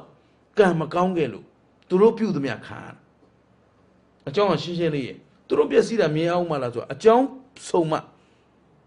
ကိုကိုကနိုင်နေတဲ့သဘာဖြစ်တဲ့အတွက်သူတို့လှုပ်သမျှခံနေရတာမစင်စားနဲ့ဟုတ်ပလားအဲ့တော့သူများမဟုတ်တာလှုပ်နေတာကိုဒီသူတွေဘယ်တော့ပျက်စီးမှလဲလို့ဘယ်တော့မှမလေးအဲ့ဒါအဘိဇ္ဇာခေါ်တယ်အဘိဇ္ဇာပြပါဒနော်ကာမဝိတဲ့ဗျာပါဒဝိတဲ့ဝိဟိန္တာဝိတဲ့ဝိဟိန္တာဆိုသူတို့ဘာပျက်စီးကြောင်းကြံနေတာအဲ့ဒါကုသိုလ်လားအကုသိုလ်လားဦးဇင်းခမဲတော်ကြီးနဲ့မေတော်ဦးဇင်းပြောဘူးတယ် မေတော်ကြီးနဲ့ခမဲတော်ကြီးဟာငယ်စဉ်ကတည်းကသူတို့အရွယ်ခေါင်းကလေးကရင်တရားကိုရအောင်ရှာတယ်စီးပွားရေးတွေအရန်ဖြစ်နေတဲ့အချိန်မှာကျန်တဲ့ကိစ္စတွေအကုန်စွတ်ထားပြီးသူတို့တရားရအောင်ရှာခမဲတော်ကြီးရှာပြီးတော့ဝိပဿနာအလုပ်တွေလုပ်တယ်ဒါပေမဲ့ဝိပဿနာအလုပ်စလုပ်ကြတဲ့စီးပွားရေးကြလိုက်တာတေးသာသွားပြန်မတက်တော့နော်ဒါဖြင့်အဲ့ဒါတရားလုပ်လို့လားဟမ်ဘာကြောင့်အကြောင်းအတိတ်ကအကြောင်းမကောင်းခဲ့တဲ့အတွက်ခု အဲ့တော့ तू ကတစ်သက်လုံးသူတို့တီလာသူတို့တမာရီတော့သူတို့စောင့်ထိန်တယ်စောင့်ထိန်တော့သူတို့အမြဲကြီးတာဦးစင်းသင်္ကန်းမဝတ်ခင်ဒီအမြဲကြားနေရတာပါလဲဆိုငါတို့မဟုတ်တာဘာတခုမှမလုပ်ဘူးဘာလို့တော့မွဲနေတာလဲဟိုမဟုတ်တာလုပ်တဲ့လူတွေကြတော့ဟောလာပြီအဲ့တော့ဦးဇင်းသင်္ကန်းဝတ်ပြီးတော့အဘိဓမ္မာသင်္ကန်းတက်တယ်စိတ်ပိုင်းဆိုင်ရာတွေသင်ရတယ်ကုသလစိတ်ကုသလဝိပဿစိတ်အကုသလစိတ်အကုသလဝိပဿစိတ်ဒါတွေကြည့်လိုက်တဲ့ခါကျတော့ဟာသဘောပေါက်သွားပြီကိုက ဘုရားရှင်ရဲ့အဆုံးအမတိုင်းပြောရရင်ကိုကသီလလေးတစ်ပါးလုံးတယ်ဟုတ်ပြီနော်ငါမူသားဘယ်တော့မှမပြောဘူးဟိုကောင်းနေလိမ့်နေကြတာကိုစောင့်ထိန်ထားတဲ့သီလကိုအမွန်းတင်သူများမစောင့်ထိန်နိုင်တာကိုအပြစ်တင်လူယုံမှာတဲ့ကဲရှင်းမလားအသေးစိတ်လေ့လာရပြီဆိုတော့ဟာသိလာပြီဆိုတော့ခမဲတော်ကြီးမေတော်ကြီးခေါ်တယ်လာအောင်ကြောင်းလာကြအောင်ဘာကိစ္စလို့ပြောမလို့ကျုပ်တင်တန်းတက်ထားတာကိုသိလာပြော ကိုဒကမာကြီးတို့ဒကမာကြီးဒကာကြီးတို့ညှိညူနေကြတယ်ပြောဆိုနေကြတယ်ငါတို့တက်တက်လုံးမဟုတ်တာမလို့ဘူးဟုတ်တယ်အဲ့ဒါကုသိုလ်ဒါပေမဲ့ငါတို့ဆိုခဲ့တဲ့ဒိဋ္ဌိလေမာနလေပါနေပြီအဲ့တော့ငါဆောင်ထိန်တဲ့သီလကိုအမွှန်းတင်သူတို့ဘာမဆောင်ထိန်တဲ့သီလကိုပြစ်တင်နေတယ်ခင်ဗျားတို့သူယုံမှဖြစ်နေတယ်အာကုသိုလ်စိတ်တွေဖြစ်နေတယ်ဘာလို့ဆိုဟိုမဟုတ်တာလုပ်ပြီးကြီးွားတဲ့လူမနာလို့ဘူးပျက်စီးစေခြင်းနေတာကုသိုလ်စိတ်လားအကုသိုလ်စိတ်လားအဲ့တော့ကို့မှာကျတော့ဒီမှာကုသိုလ်တွေလုပ်နေပါရင်မကြီးပွားရကောင်းလားဆိုပြီးဓမ္မကိုစော်ကားနေတာ တန်ခိုင်ကျိုးခမကြီးတို့ကောင်းကောင်းမသိတာလို့အခုခံစားဆန်စားနေရတာအတိတ်ကံခင်ဗျားတို့စွမ်းလွန်းလို့တက်လွန်းလို့ဩစတြေးလျရောက်လာတယ်မထင်နဲ့ပြုတ်ခဲ့ဘူးတဲ့ကောင်းမှုအတိတ်ကံပနဲ့ချခဲ့တဲ့နေရာဒီနေရာမို့လို့ဒီရောက်နေတာရှင်းလားခင်ဗျားတို့နေတဲ့အရက်မှာခင်ဗျားတို့အတိတ်ကဘိုးဟောင်းဘွားဟောင်းမိဟောင်းဖဟောင်းရှိနေတယ်တစုံတရာသူတို့ရဲ့အထောက်ပံ့တွေအဆောက်အအုံတွေအကူအညီတွေ အခုလို့ဆိုရင်ခုတည်းဒီမှာပါရမီဓမ္မပါရမီရိပ်သာကြီးမှာဦးဇင်းတရားဟောနေတယ်ဥတုမင်္ဂလာတရားဟောမယ်လို့ခင်ဗျားတို့ကလွန်ခဲ့တဲ့လကကြုတ်ပေးတဲ့အချိန်ကမှဧပြီလလောက်ကမှသိခဲ့ပေမဲ့ဒီမှာရှိနေတဲ့နတ်ဒေဝတာတွေကခင်ဗျားတို့အရင်ကြုတ်အရင်သိနေပြီဒီနေ့ဒီရက်ဒီအချိန်ဥတုမင်္ဂလာရောက်လာလိမ့်မယ်တရားလာဟောလိမ့်မယ်ဒီလူတွေလာနာမယ်ဆိုခင်ဗျားတို့အမျိုးတွေကလည်းရောက်နေတယ်ဟိုမှာတာရုခေါ်မလို့ရှင်းလား အကြောင်းမဲ့ဖြစ်လာတဲ့တရားတစ်ခုမှမရှိဘူးအကြောင်းရှိလို့ရှင်းနကလားခုဦးဇင်းပြောတာသဘောပေါက်လားအဲ့တော့ဒါကိုဆင်ခြင်ပြီးတကလားဦးဇင်းတို့တော်ကောင်းတို့ကတကယ်ဗုဒ္ဓဘာသာတရားကိုတကယ်သိအောင်လုပ်ကြတော့မယ်ဆိုရင်တကယ်ပရဏထားပြီးလုပ်ရမှာဘာလဲဟေးဟုတ်ပြီနော်အဲအဲ့တော့သီလသမာဓိပညာဒီသုံးရပ်ကိုဘယ်တော့မှ ကိုယ်နှလုံးသားထဲကမထုတ်လိုက်နဲ့အဲ့တော့သီလပြည့်ရင်ကိုယ်စီမှာသာသနာပြည့်ပြီဒီလိုမှတ်တာသမာဓိပြည့်ရင်ကိုယ်ထံမှာသာသနာပြည့်ပြီပညာပြည့်ရင်ကိုယ်ထံမှာသာသနာပြည့်ခုနပညာပြည့်တာပဲငါတို့ကုသိုလ်လုပ်နေတယ်ဘာလို့မကြည်ဖွာတာလဲကုသိုလ်လုပ်တာတစ်ပိုင်းအကျိုးပေးခြင်းတန်မှတ်ပေးမှာဒါဥစဉ်တရားကိုယ်တွေထဲမှာပါတယ်ခင်ဗျားတို့သတိထားကြည့်ရင်သိမှာကောင်းတာလုပ်ရင်ကောင်းကျိုးကောင်းတာဖြစ်မယ်လို့ပြောကောင်းကျိုးပေးမယ်အကြောင်းကျိုးနဲ့ပြောရမယ် သူကဖြစ်မယ်လို့ definitely ပြောတဲ့စကားတွေဟာသူကခုဓမ္မလမ်းကြောင်းတွေမှာခုဒီမကြီးတို့ကုသိုလ်လုပ်ထားတယ်ဝိပဿနာဉာဏ်နဲ့အခုမဲ့ဉာဏ်ဖူဉာဏ်တွေရပြီးတော့အဲလေးမဲ့လေးဖို့ရသွားပြီဆိုအဲ့ကုသိုလ်အကျိုးပေးခြင်းမရတော့ဟုတ်ပြီလားဘာဖြစ်လို့လဲဆိုဟိုဘပြိဋိဘံဆန်တော့မှာရှင်းနော်အဲ့တော့အားလုံးတရားမလွတ်အောင်ဖြစ်ရရင်ကောင်းတာလုပ်ရင်ကောင်းချိုးပေးမယ်မကောင်းတာလုပ်ရင်မကောင်းချိုးပေးမယ်ဘယ်ချိန်ပေးမှာလို့ အကြောင်းညီညွတ်တဲ့အချိန်ပြန်ပြောအကြောင်းညီညွတ်တဲ့အချိန်ဘုံမှာရှိတယ်ပရိသတ်သမုပ္ပါမစရသေးလို့အတိတ်ကံသင်္ခါရပြစ္ဆုတ်ပံကံကမ္မဘဝပြစ္ဆုတ်ပံကံစေတနာနဲ့အတိတ်ကံစေတနာပေါင်းစပ်မိတဲ့အချိန်အကျိုးပေးမယ်ဒါမို့လို့ဆင်းရဲနေတဲ့လူကဆင်းရဲတဲ့ဆင်းရဲတယ်အစင်မပြေတဲ့လူကအစင်မပြေတဲ့မပြေတယ်ဘာဖြစ်လို့လဲဆိုသူ့စိတ်တွေမှာအစင်မပြေမှုကြောင့်လောဘတွေပူအားကြီးလာတယ်ဒေါသတွေပူအားကြီးလာတယ် ခုနအမေနဲ့အဖေခမဲတော်ကြီးမဲတော်ကြီးတို့စိတ်ပဲကြည့်အောင်ငါတို့တစ်သက်လုံးကောင်းတာလုပ်နေတာငါတို့ကြတော့ဆင်းရဲနေတယ်ဆိုတော့ဒါ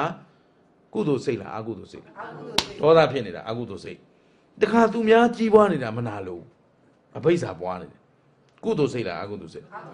အဲ့ဒီအကုသိုလ်စိတ်တွေကြောင့်အကုသိုလ်ကံတွေပဲဆက်အကျိုးပေးနေဟျာဆင်းရဲအောင်မှာအဲ့ဒီစိတ်မပြောက်ဘူးဦးဇင်းကအပိုင်ပြောချလိုက်တယ်ဆိုတော့မှဦးဇင်းဘာကြောင့်ပြောလဲဟောဒီမှာဘေးမှာကြည့် စိတ်သဘောတွေ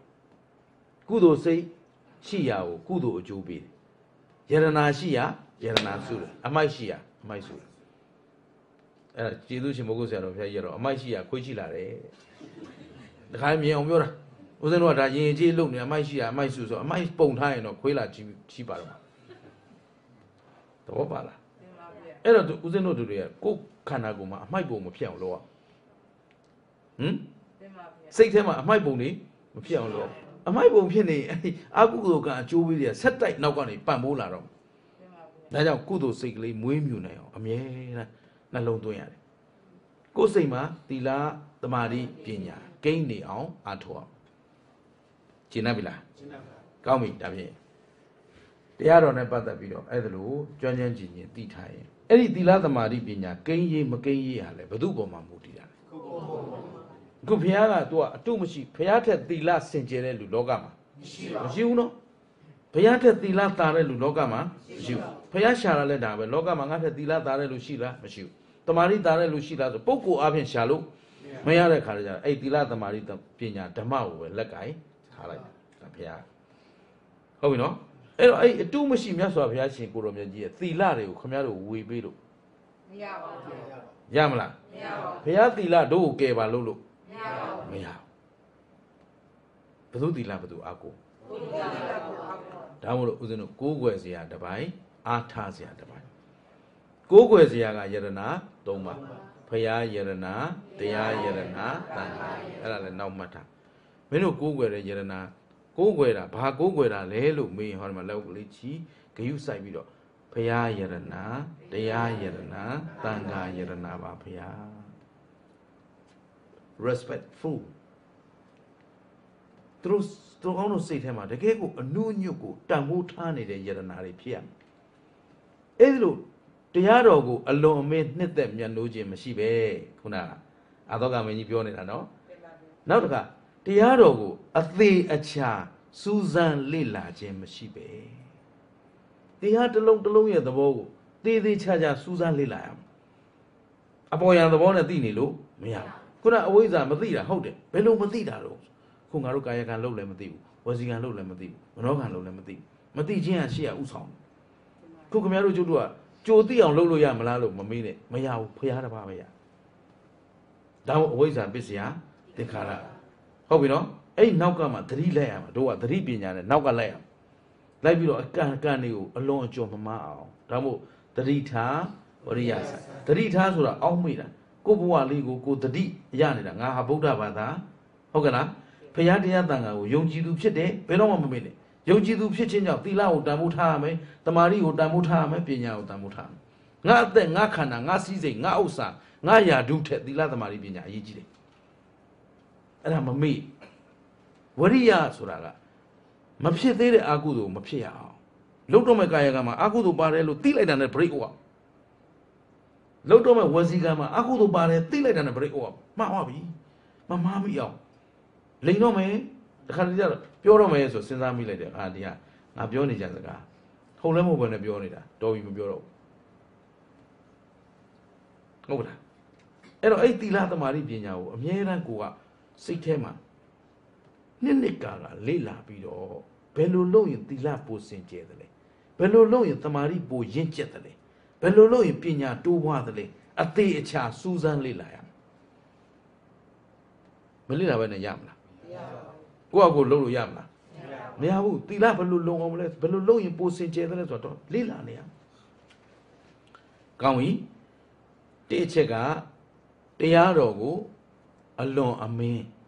ရိုသေမြတ်နိုးခြင်းမရှိပဲဟုတ်ကလားအလွန်အမင်းလို့ပါတယ်နော်အဲ့ဒီအလွန်မင်းကတကယ်ကိုလိုအပ်လို့သူထည့်ထားတဲ့စကားလုံး တာမင်ညရိုသေပါတယ်ယုံကြည်ပါတယ်ဆိုုံနဲ့မရဘူးအခုခင်ဗျားတို့ဗုဒ္ဓဘာသာတွေမေးလိုက်ရင်ဖြေမှာပဲအားလုံးဖះကိုယုံလားအေးဘယ်လောက်ထိယုံလဲဆိုရင်အဲ့ပြောတော့မှာရှာယုံမရှိတိုင်းကြည့်ရတို့အသက်နဲ့အမျှပါဗျာဟုတ်ပါလားဒါပေမဲ့မင်းတို့ immigration မှာမလိန်ခဲ့ဘူးလားဆိုနည်းနည်းပါတော့လိန်တာပေါ့အဲ့ဒါအသက်ကိုမဟုတ်သေးဘူးဩစတြေးလျဝင်ဖို့ပဲရှိသေးတာသဘောပါသလားအောင်မလေးခင်ဗျားတို့တကယ်တကယ် စီစစ်ကြည့်ရင်ဖះပေါ်မှာတကယ်အကျွင့်မဲ့ယုံကြည်သူဆိုဖះစကားကိုလုံးဝဆန့်ကျင်ခြင်းရှိတော့အလုံးအမေးနှစ်သက်မြတ်လို့ခြင်းမရှိပဲတဲ့နောက်အသေးချာစူးစမ်းလေ့လာခြင်းမရှိပဲဟုတ်ပြီနော်သုံးတရားတော်ကိုအလွန်ကျူအလွန်အမင်းစ조사အားထုတ်ခြင်းမရှိပဲသူကအလွန်မင်းဆိုတဲ့စကားလုံးလေးသုံးထားတယ်စ조사အားထုတ်ခြင်းဆိုတာကိုယ်စိတ်ထဲမှာကိုတခါတည်းစိတ်ပါလက်ပါမနဲ့အိယာထပြီးဆိုကြတဲ့ငါ အခုချိန်ကစပြီးငါသိလိုက်တဲ့ချိန်ကစပြီးကာယကံတိုင်းဝစီကံတိုင်းမနောကံတိုင်းစေကျင်နေရမယ်အခုတော့မဖြစ်စေရဘူးဟုတ်ပြီနော်အဲ့လိုသတိမရှိရင်ခင်ဗျားတို့ဘုရားတောက်တော်ရင်လဲရင်လဲဇောင်းဇောင်းဖြစ်လာတာဟမ်ထားမယ်လူတော့မထားရသေးဘူးခုချိန်นี้မထားရသေးဘူးဒီဒီကြုံကြုံကြုံမတယောက်ကပဲအကုန်လုံးနေရတာနဒီပြစီလဲနေလည်းမလေးရှုပ်ချကုသိုလ်လားအကုသိုလ်လားတို့ဘာတို့ဘာအချိန်ပြီ तू ကမနဲ့လင်းလာကြတဲ့အာကုသိုလ်စနေအဲ့ तू ဘုရားကိုယုံသလား လောက်တာတော့ပန်းလဲနေတာပဲသဘောပါသလားဘုရားနေရှိရောက်နေတာရောက်နေတာကိုဘုရားမျက်နှာမထောက်ဘူး तू မမြင်ဘူးဒါဘုရားလုံးမမြင်ဘူးရုပ်ထုပဲ तू လှုပ်ရှာလုပ်တာဘယ်တော့ယုံတယ်ခင်ဗျားတို့လိုက်ပြီးအဲ့လိုစစ်ပြလိုက်ရင်ပေါ်လာမှာဘုရားရှိရောက်နေပြီကိုဘုရားရှိမှာဘယ်တော့ကိုကဘုရားကိုဒါဒါဒါဆိုရင်ခင်ဗျားတို့ကြောက်စင်းသူကြီးကိုကိုွယ်ထားတာလားဘုရားဖြစ်ကိုကိုွယ်ထားတာဒါဖြစ်သက်တော်ထင်ရှားဘုရားဆိုရင်ခင်ဗျားတို့ဒီရှိမှာအတင်းမပြောရဘူးရှင်းလား မဟုတ်တာမလုပ်ရဘူးဘုရားဘုရားလို့တကယ်ယုံကြည်မြတ်နှုတ်ထိုင်သဘောပါတယ်နော်အဲဦးဇင်းကြောင်းရောက်ရင်မေးကြတယ်တချို့ကအခန်းထဲရောက်တော့ဘုန်းကြီးဘုရားကတော့ဘယ်မှာဘုရားအပေါ်မှာသွားကြတော့အခန်းထဲမထားဘူးလားမထားရပါဘူးငါလှုပ်ချင်လှုပ်လို့ပဲရမယ်သဘောပါလားရှင်းရရှင်းရလားဒါဖះအဖြစ်တတ်မှတ်ထားတာဖះနဲ့အတူနေပြီလို့ဖះရှေ့ရောက်နေပြီလို့ဆိုလိုက်ကြရအာဟုတို့အလုပ် လုံးဝမပအောင်လုပ်တော့မယ်ဆိုတော့အလွန်မင်းစူးစမ်းအထုတ်ခြင်းမရှိပဲဒါပဲဗျာကိုလုပ်တဲ့အလုပ်တိုင်းဟာဖះမကြိုက်တာမပါရဘူးဖះတားမြစ်ထားတဲ့အရာမှန်သမျှရှောင်နိုင်အောင်ကြိုးစားမယ်အာဟုတို့မဖြစ်စေရဘူးကုသိုလ်ဖြစ်နေစေရမယ်အဲ့ဒါလိုအာထုတ်နေမှဟုတ်ပြီနော်ပြစ္ဆုတ်ပန်လဲချမ်းသာမယ်တန်တရားလဲချမ်းသာမယ်သုံးချက်ရှိသွားပြီနော်နော်အာကုသိုလ်ကြီးအပြစ်များကိုများစွာကြောက်ရွံ့ခြင်း မရှိပဲခုခင်ဗျားတို့ကုသိုလ်အာကုသိုလ်သိလားကုသိုလ်ဆိုတာဘာလဲအဲဦးစင်းထပ်မေးရင်ခင်ဗျားတို့ဒေါသဖြစ်ဦးမယ်နော်ဘယ်လိုကောင်းအောင်လုပ်မှာလဲကောင်းတာဆိုတာဘာလဲမိခွန်းမဆုံးဘူးခင်ဗျားတို့ဟမ်ကုသိုလ်ဆိုတာဘာလဲဆိုကုသိုလ်မှာမှတ်ထားအဲ့ဒီမှာလဲဦးဇင်းတို့ဒီအစင်ဆက် လက်ဆင့်ကမ်းပြီးတော့ပေးလာတဲ့အဆုံးအမတွေမှာတချို့က meaning ရယ် result definition နဲ့ result နဲ့မကွဲတာရှိတယ်ကုသိုလ်ဆိုတာဘာလဲဆိုမြတ်စွာဘုရားရှင်ကိုတော်မြတ်ကြီးကိုယ်တိုင်ဖြေထားတဲ့ဝိစာတုံမှာရှိတယ် what is ကုသိုလ်ဆိုကုသိုလ်ဆိုကိုလှုပ်တဲ့ကာယကံဝစီကံမနောကံအမှုတိုင်းမှာလောဘဒေါသမောဟမပါမကုသိုလ်တဲ့ဟုတ်ပလား ကိုလှုပ်တဲ့ကာယကံဝစီကံမနောကံမှာလောဘဒေါသမောဟပါခဲ့ရင်အာကုသိုလ်ဒါကုသိုလ်အာကုသိုလ်ရဲ့ definition ဟုတ်ပြီနော် result ကဘာလဲဆိုကုသိုလ်ဒီကုသိုလ်လုပ်ပြီဆိုကြတဲ့လောဘဒေါသမောဟမပါဘူးဆိုကြတဲ့သူ့မှာအပြစ်ရှိအောင်မလားအပြစ်ကင်းတယ်လောဘဒေါသမောဟမပါရင်ဆင်းရဲမလားချမ်းသာမလားအမေခင်ဗျားတို့သိပြီးသားလို့တော့ပြောနေနော် professor တွေပဲဒီလူတွေဟုတ်ကဲ့လားလောဘဒေါသမောဟမပါရင်ဆင်းရဲမလားချမ်းသာမလား ချမ်းသာမယ်အဲ့တော့အပြစ်ကင်း၍ချမ်းသာကို ပေးတတ်တဲ့အကျိုးအဲ့ဒါကုသိုလ်ရဲ့ result this is not definitions this is result နော်အဲ့တော့ result ကိုဒါကုသိုလ်လို့ definition ဖွင့်ချလိုက်တော့ဟောအပြစ်ကင်းအောင်ဘယ်လိုလုပ်မလဲလာအောင်ပါမိကုန်းကမပြီးသေးဘူးနင်ဘယ်လိုလုပ်မှချမ်းသာမှာလဲလာအောင်ပါအဲ့တော့ဟိုမှာဖះကဖြေထားတိတ်တိကြတယ် ကုသိုလ်အကုသိုလ်အရှင်ဖះတူတူချင်းချင်းနဲ့လိုရင်းတပြီးတော့သိအောင်ပြောသားမှာတဲ့ဝတ်ဆပုံသားရက်လေအမေသိကောင်းအဲ့တော့ဟာမေဝတ်ဆတူတူဆိုလဲငါဖြေနိုင်တယ်ရှီရှီဆိုလဲငါဖြေနိုင်တယ်အဲ့တော့မင်းတူတူကြိုက်တော့တူတူပဲပြောမယ်လောဘဒေါသမောဟမပါတဲ့အလုတ်ဟာကုသိုလ်အလုတ်တော့တော့လိုပဲပြောလိုက်တာဒါပေမဲ့ခင်ဗျားတို့အလုတ်ဆိုတာဘာလဲဆိုကာယကံဝစီကံမနောကဒီလိုပြန်ဖြေရမှာဟုတ်ပြီနော်ကာယကံဝစီကံမနောကလှုပ်တိုင်းမှာလောဘဒေါသမောဟမပါမှပါလေကုသိုလ် ပါနေရင်အာကုသိုလ်ရှင်းရလားအဲ့တော့ကုသိုလ်ရဲ့အကျိုးသည်အပြစ်ကင်းတဲ့ချမ်းသာကိုပေးတယ်အာကုသိုလ်ရဲ့အကျိုးသည်အာကုသိုလ်မှန်ရင်အပြစ်လည်းရှိတယ်ဆင်းရဲကိုလည်းပေးမယ်အဲ့တော့လက်တလောခိုးစားနေတဲ့လူတွေခိုးလို့ရတဲ့ပတ်စံများများရတယ်သူတကယ်ချမ်းသာနေသလားလို့မေးတော့အဲဒီအခိုးပေါ်မှာစိုးနေတာအမြဲတမ်းဟုတ်လားဒီခိုးခြင်းကိုအမြဲတမ်းလုံးလာစိုက်ထုတ်နေရခြင်းရဲ့အကုသိုလ်သူဆင်းရဲနေတယ် ဒီအခိုးပေါ်မှာကြောက်နေတဲ့အကုသိုလ်ဆင်းရဲနေတယ်ငွေရတာချမ်းသာတာမဟုတ်ဘူးဟုတ်လားစိတ်ကိုယ်စိတ်နှစ်ပါးမချမ်းသာရင်တူတူချမ်းသာတယ်လို့ပြောလို့မရဘူးဒါပဲလက်စားထားတယ်မတော်မတရားလုပ်ထားတဲ့လူကအမြဲတမ်းသူ့စိတ်မှာအနောက်ချက်ဖြစ်နေတာသူအမြဲတမ်းဆင်းရဲနေတာလူတွေကြည့်တော့ငွေတွေရှိတယ်ကားကြီးတွေဝယ်ထားတယ်ဟာလာတိုက်ကြီးတွေစောက်ထားတယ်ဆိုချမ်းသာတယ်လို့ထင်တာသူဘယ်တော့မှစိတ်အေးချမ်းသာတော့နေလို့မရဘူးလက်ငင်းမှာကိုဆင်းရဲတယ်အပြစ်လည်း ရှိတယ်အဲ့ဒီအပြစ်တောင်သူမရဲခံရမယ်ဟုတ်လားပြစ်တာဖြစ်မယ်သူတကယ်ဖြစ်မယ်ဖြစ်လျာဘဝမှာဒုက္ခရိဥမာမှုသားလေးပြောခဲ့တဲ့အပြစ်ကလေးကိုကဒုတိယဘဝမှာအပယ်သွားမယ်ပြီးရင်ဖြစ်လျာဘဝမှာဒီပုဂ္ဂိုလ်ဟာအမျိုးညံ့တဲ့လူမှာဖြစ်မယ်သူ့စကားကိုလူမယုံတော့ဘူးတချို့အိမ်တွေမှာရှိတယ်ငါစကားဆိုဘယ်သူမှအလေးမထားကြဘူးအော်မနေတဲ့ကိုမူသားကံပေါ်နေတာမင်းမူသားအားကြီးခဲ့တဲ့လူဆိုတဲ့အဖြေပေါ်နေတာသူ့စကားကိုဘယ်သူမှအေးမလို့ရှင်းလား သူသူ့ဖေပြောလိုက်ရင်တော့တခွန်းနဲ့ပြီးတယ်ဆိုတော့အဲသူ့ဖေကမူသားကင်းခဲ့တယ်ဟုတ်လားသူ့ဖေပြောမှဆိုရင်ဒါသူ့မေကမူသားကင်းခဲ့တယ်မူသားနေခဲ့တယ်ဒါကြောင့်သူ့စကားကိုကလေးတွေကနားထောင်တယ်တပည့်တွေကနားထောင်တယ်ငါစကားနားမထောင်တော့ဘူးဆိုသတိရထားတော့ဆက်လည်းမပြောနဲ့ကြည်လက်တယ်နော်အကြောင်းကောင်းမှအကြောင်းမှန်မှကကဲကောင်းပြီအဲ့တော့ မြတ်စွာဘုရားရှင်ကိုတော်မြတ်ကြီးနော်တရားကိုအဓိပတိထားပြီးတော့တရားကိုပဲတန်ဖိုးထားပြီးနေမယ်ဆိုတော့လောကကောင်းချီးပေးပြီးတော့မြတ်စွာဘုရားတရားကိုသာအဓိကထားခဲ့တယ်အဲ့တော့ဘုရားရဲ့တပည့်သားမှန်သမျှအားလုံးဟာလေခုဦးဇင်းတို့သူတော်ကောင်းတို့တွေကဘုရားကိုတကယ်အကျွင့်မဲ့ယုံတယ်တရားတော်ကိုယုံပါတယ်တန်ခါကိုယုံပါတယ်လို့သူတော်ကောင်းတို့သူတော်ဆုံးဖြတ်တယ်ဆိုရင်သူတော်ကောင်းတို့လည်းဘာကိုတန်ဖိုးထား သီလသမารိပညာဆိုတဲ့တရားကိုတန်ဖိုးထားအဲ့ဒီတရားအတွက်တစ်အလွန်အမင်းနှစ်သက်မြတ်လို့ခြင်းဖြစ်ရမယ်သီလစောင့်ထိန်နေရတာကိုကိုယ်စိတ်ထဲမှာကြည်တူးနေတာအမေဦးမယ်မေဦးမယ်ဆိုတော့ခင်ဗျားတို့သိပြီးသားမို့လို့ပါအားလုံးလည်းကြွန့်ကျင်ပြီးသားအရသာတကအရသာတယ်မှာဘယ်အရသာကောင်းလဲတရားရတာအဲပြေမှာသိတာပေါ့တရားအရသာတရားအရသာဘယ်လိုရမလဲအေးချမ်းသွားပြီ ဟဲ့သီလစောင့်ထိန်လိုက်တဲ့အတွက်အဲ့ဒီသီလနော်စောင့်ထိန်လိုက်တဲ့ကိုယ်သီလပီတိကလေးသီလစောင့်ထိန်လိုက်တဲ့အရာပါလေးမှုသားပြောတော့မယ်မပြောပြလိုက်ဘူးဩငါမှုသားကိုထိန်နိုင်ခဲ့ပြီမှုသားတရားငါမှာကင်းစင်သွားပြီပြောဟုတ်လားငါခိုးစားစရာမလိုတော့ဘူးလူစားစရာမလိုတော့ဘူးလိန်စားစရာမလိုတော့ဘူးကိုယ်သီလကလေးကိုကိုယ်မျက်နှိုးပြီးတော့သီလတရားရဲ့တန်ဖိုးတမာရီတရားရဲ့တန်ဖိုး သီလသီလသမာဓိပညာရဲ့အမြတ်အရသာအဲ့ဒါကမှတရားအရသာဟုတ်ပြီလားသီလနဲ့ရနိုင်တယ်သမာဓိနဲ့ရနိုင်တယ်ပညာနဲ့ရသီလစောင့်ထင်းခြင်းကြောင့်ရလာတဲ့အရသာကိုတရားရသာသမာဓိတည်ကြည်ခြင်းကြောင့်ရလာတဲ့အရသာကိုတရားရသာဝိပဿနာပညာတွေကြောင့်ရလာတဲ့အရသာကိုတရားရသာသမာဓိမှာဆိုလဲအပ္ပနာသမာဓိဆိုတာဟုတ်လားသမာဓိဧကဂရစိတ်ကလေးတည်ငြိမ်သွားပြီ အာယုံတစ်ခုထဲမှာကိုထားတဲ့အာယုံမှာပဲတမာတိဆိုတာအာယုံတစ်ခုထဲမှာစိတ်ကလေးတည်နေအောင်လုပ်တာတမာတိ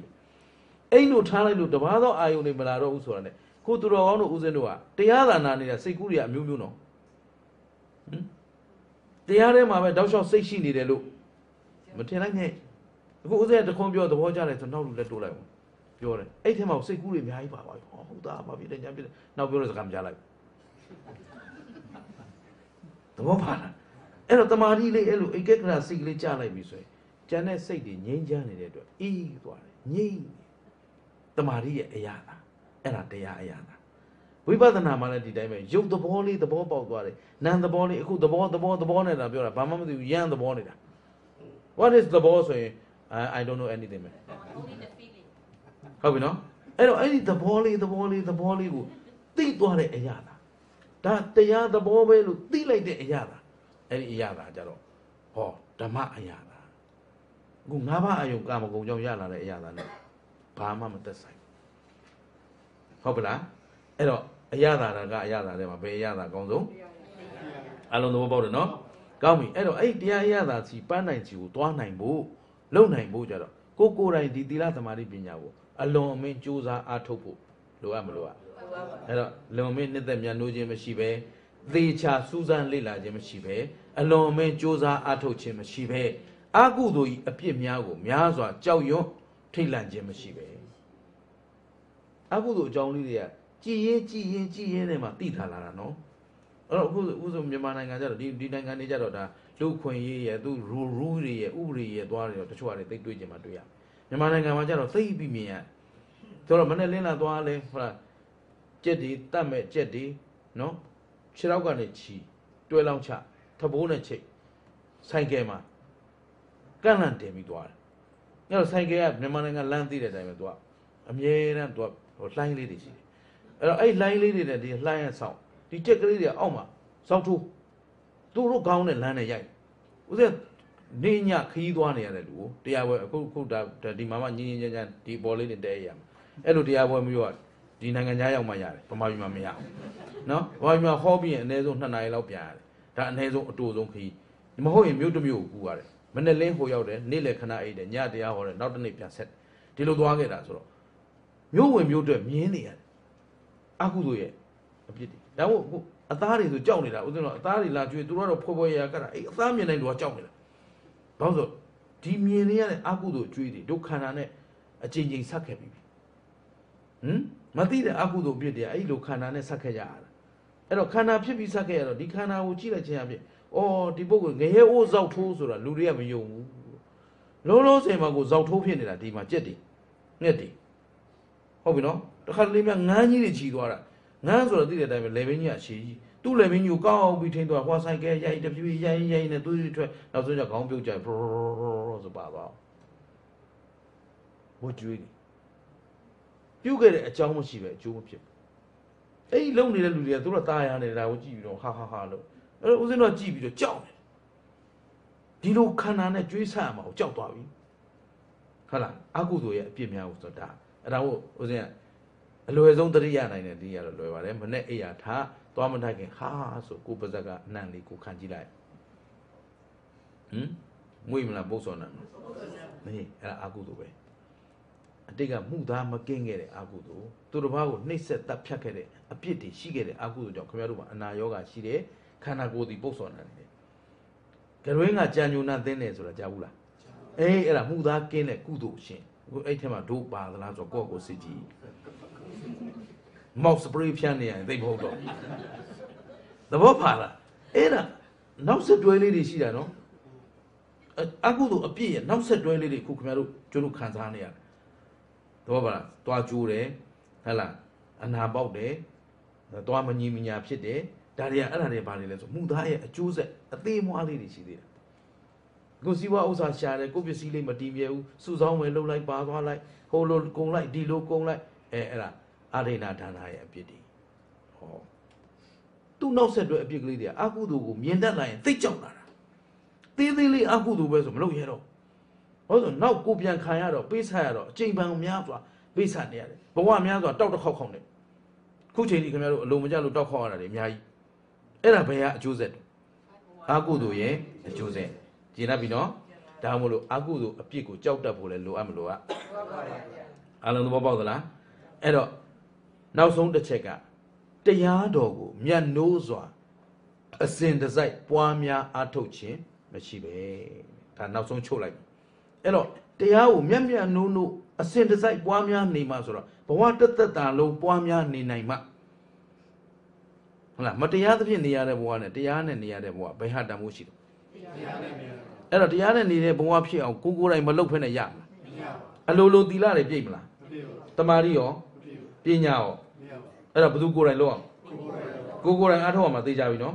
အဲအဲ့ဒီမှာဦးဇင်းတို့ဒီနေ့ခုတနာကြီးကတော့ပြည့်သွားပြီအချိန်လည်းနည်းနည်းပိုသွားပြီအဲ့တော့ တရားပုဒ်ကလေးနည်းနည်းစထားခဲ့မယ်မိကွန်းလေးကိုမြတ်စွာဘုရားရှင်ကိုယ်တော်မြတ်ကြီးရာဇကြိုပြီးဝေလူဝန်ကျောင်းမှာသတင်းသုံးနေတော့နော်တရက်ဆုံးခံထွက်တဲ့ချိန်လမ်းမှာမြတ်စွာဘုရားနဲ့အယူဝါဒမတူတဲ့ဆိုတော့မိစ္ဆာဒိဋ္ဌိပေါ့ဗျာအဲ့တော့မိစ္ဆာဒိဋ္ဌိအယူဝါဒမတူလို့မိစ္ဆာဒိဋ္ဌိမဟုတ်ဘူးလွဲမှားနေလို့မိစ္ဆာဒိဋ္ဌိဟုတ်ပြီနော်အဲ့တော့မိစ္ဆာဒိဋ္ဌိအယူရှိတဲ့အစေလကကတ္တပအစေလကကတ္တပအဝတ်မဝတ်တဲ့တက္ကတော်နော်အစေလကဆိုတာအဝတ်မရှိဘူး သူ့နာမည်ကကတ္တပအဝတ်မောတဲ့ကတ္တပအဲ့ဒီအစေလကကတ္တပကြီးကလည်းသူကဆုံးခံကြွလာဟောလေသူကလည်းယဟန်မယ်ကိုသူသူဟာနဲ့သူယဟန်အဲ့တော့လမ်းမှာနှစ်ပါးဆုံကြတော့လျှောက်ထားတဲ့အစေလကကတ္တပကမြတ်စွာဘုရားကိုအရှင်ဘုရားတဲ့တပည့်တော်တန်တရားဖြစ်တဲ့မေးခွန်းလေးတွေမေးပြရစီဓမ္မနဲ့ပတ်သက်တဲ့မေးခွန်းလေးတွေမေးခွန်းပြုပါဆိုတော့ကတ္တပဆုံးခံနေတော့ကွာမင်းမမေးနဲ့ဘူးဘုရားပယ်လိုက် ပယ်လိုက်ပြီးတော့တစ်ခါဆက်လျှောက်သွားနောက်ကလိုက်လာတယ်ကတ္တပတွေ့ဖို့ခဲရင်တာဦးဘုရားเจ้าတော်တွေကိုသူသူဒီပုံစံနဲ့တော့ဝင်မသွားရဲဘူးအဲ့တော့လမ်းမှာဆုံတော့သူအခွင့်အရေးရတော့သူနောက်ကနေထပ်လျှောက်အရှင်ဘုရားတပည့်တော်အချိန်လေးနည်းနည်းလေးပဲပြပါတရားတန်တရားဖြစ်တာလေးတွေတပည့်တော်မေးပြီးရင်ပြီးပါပြီဗျာခဏလေးပဲခွင့်ပြုပါဟကသဘာဆုံးခံနေတော့နေအောင်ကွာအမေမမေးနဲ့ဘူးတကယ်တော့မြတ်စွာဘုရားရှင်ကိုတော်မြတ်ကြီးကတရားနဲ့ပတ်သက်လာရင်အချိန်မီပြီ နော်မေးချင်တဲ့အချိန်မေးဖြေဖို့ဟောဖို့အစဉ်တယ်ဒါပေမဲ့ကသဗ္ဗကိုဘာလို့တားနေလဲဆိုကသဗ္ဗကအဲ့ဒီအချိန်မှာတွေ့တဲ့အချိန်မှာသူ့စိတ်မငြိမ်သက်သေးတာရဲ့ညံမရင်သေးတာရဲ့အချိန်မတန်သေးတော့ဆွဲတာဟုတ်ကလားမြတ်စွာဘုရားပြောပြီဆိုရင်အကြောင်းရှိလို့အဲ့ဒါနဲ့ဆက်ပြီးတော့သွားလိုက်တော့နောက်တတ္တရတစ်ချိန်လျှောက်ထားတယ်အရှင်ဘုရားတဲ့တပည့်တော်မေကွန်းလည်းမများပါဘူးဘုရားခွင့်ပြုပါဘုရားဆိုတော့သုံးချိန်တောင်းပါရင်တော့မြတ်စွာဘုရားတို့ပြည်ဒီမှာခွင့်ပြုရရုံထုံးတာရှိတယ် အဲ့တော့မှကသဗ္ဗမင်းမေးရင်မေးစမ်းกว่าတဲ့ငါဖြေမယ်တဲ့ဟုတ်ကလားအဲ့တော့မှဒါဖြင့်အရှင်ဘုရားတဲ့မေးပြီအစီလကကတ္တဗကအရှင်ဘုရားအခုတပည့်တော်တို့ခံစားဆန်စားနေရတဲ့ဒုက္ခဒုက္ခတွေဒုက္ခဟာမိမိပြုတာလားဘုရား ကိုပြုတဲ့ဒုက္ခကိုခံရတာလားဟုတ်ပြီနော်မေးပြီနော်မေးလိုက်တဲ့ခါကျတော့မြတ်စွာဘုရားရှင်ကိုလိုမြတ်ကြီးကဘာပြောလဲဆိုကတ္တပ မင်းဒီလိုမဆိုနဲ့ဒီလိုမပြောပါနဲ့ကွာအလုံးမထားနော်အခုဒုက္ခမျိုးစုံရှိမရှိရှိပါတယ်အခုခုဟိုဒုက္ခနာဒုက္ခရောရှိပါတယ်။အိုးဘောကဲကလထိုင်နဲ့ထိုင်နေကြတဲ့ဒကာကြီးတွေဒကမာကြီးတွေကသူတို့ကအောက်မှာမထိုင်ရင်လို့အပေါ်ထိုင်နေကြတာလားဟုတ်ပါ။မဟုတ်ဘူး။ဘာဖြစ်လို့ဒူးနာနေတယ်ကျမ်းမာရေးမကောင်းဘူး။အိုးနာဟမ် နာခြင်းဒုက္ခမရှိဘူးလားရှိပါတယ်။အဲ့ဒုက္ခဘယ်သူလောက်တာဟုတ်ပါဟုတ်ပါ။ကိုပြုတ်လို့ကိုခံရတာလားဖရားတဲ့မေး။မေးတော့ဖရားကဘာပြောလဲ။ဒီလိုမဆိုနဲ့ဒါဒီနေ့ဏ္ဍာမျိုးတာနော်မနေ့ပြန်ကြမှာတရားတွေအစဆုံးရှင်းရမှာဆိုမနေ့ပြန်ဆို9ရက်လုံးဒီတစ်ပုတ်ပဲရှင်းမှာဟုတ်ကလားဒီလိုမဆိုနဲ့ဆိုတော့ကိုပြုတ်လို့ကိုခံရတယ်လို့ဆိုလို့လဲမရပါဘူး ဒါဖြစ်ရင်အရှင်ဘုရားသူတစ်ပါးပြုတ်တာလားသူတစ်ပါးပြုတ်တာလားဆိုတော့ဘုရားသခင်ဖန်ဆင်းလို့လားဟုတ်ကဲ့လားတကိုးရှင်နေကြောင်းလားဒါမှမဟုတ်ဦးဇင်းတို့မြန်မာလူမျိုးတွေဆိုတော့မြန်မာနိုင်ငံအကြောင်းလေးပါမြန်မာပြည်ဗုဒ္ဓဘာသာအကြောင်းလေးပါ38မင်းကြောင်းလားဟုတ်ပြီနော်ဟိုဟိုဘက်ကဟင်းသရတို့ဘာလို့လဲဆိုရေငန်ပိုင်ဥရှင်ကြီးကြောင့်လားဟုတ်ပလားဟဲ့အမေးတွေကရှိရတယ်အဲ့တော့သူတစ်ပါးပြုတ်လို့ကိုခံရတာလားတဲ့ဟုတ်ပြီနော် အဲ့ဒါအဲ့ဒါအယူဆတွေမှာခေါ်တာ39မင်းဆိုတာရဲ့ဘိုးအောင်ဘိုးမင်းကောင်မလိုက်တာဆိုတာရဲ့ဟမ်အယူဆတွေများစွာမရှိဘူးလားရှိပါတယ်အဲ့တူတူဗုဒ္ဓဘာသာမှာကိုကဘွက်ပေါက်နေတာအဲ့ဒါဗုဒ္ဓဘာသာမဟုတ်လို့ဘွက်ပေါက်တာဗုဒ္ဓဘာသာအစ်စ်ဆိုရင်ဗုဒ္ဓဘာသာအစ်စ်ကဘာဟုတ်တမှုထား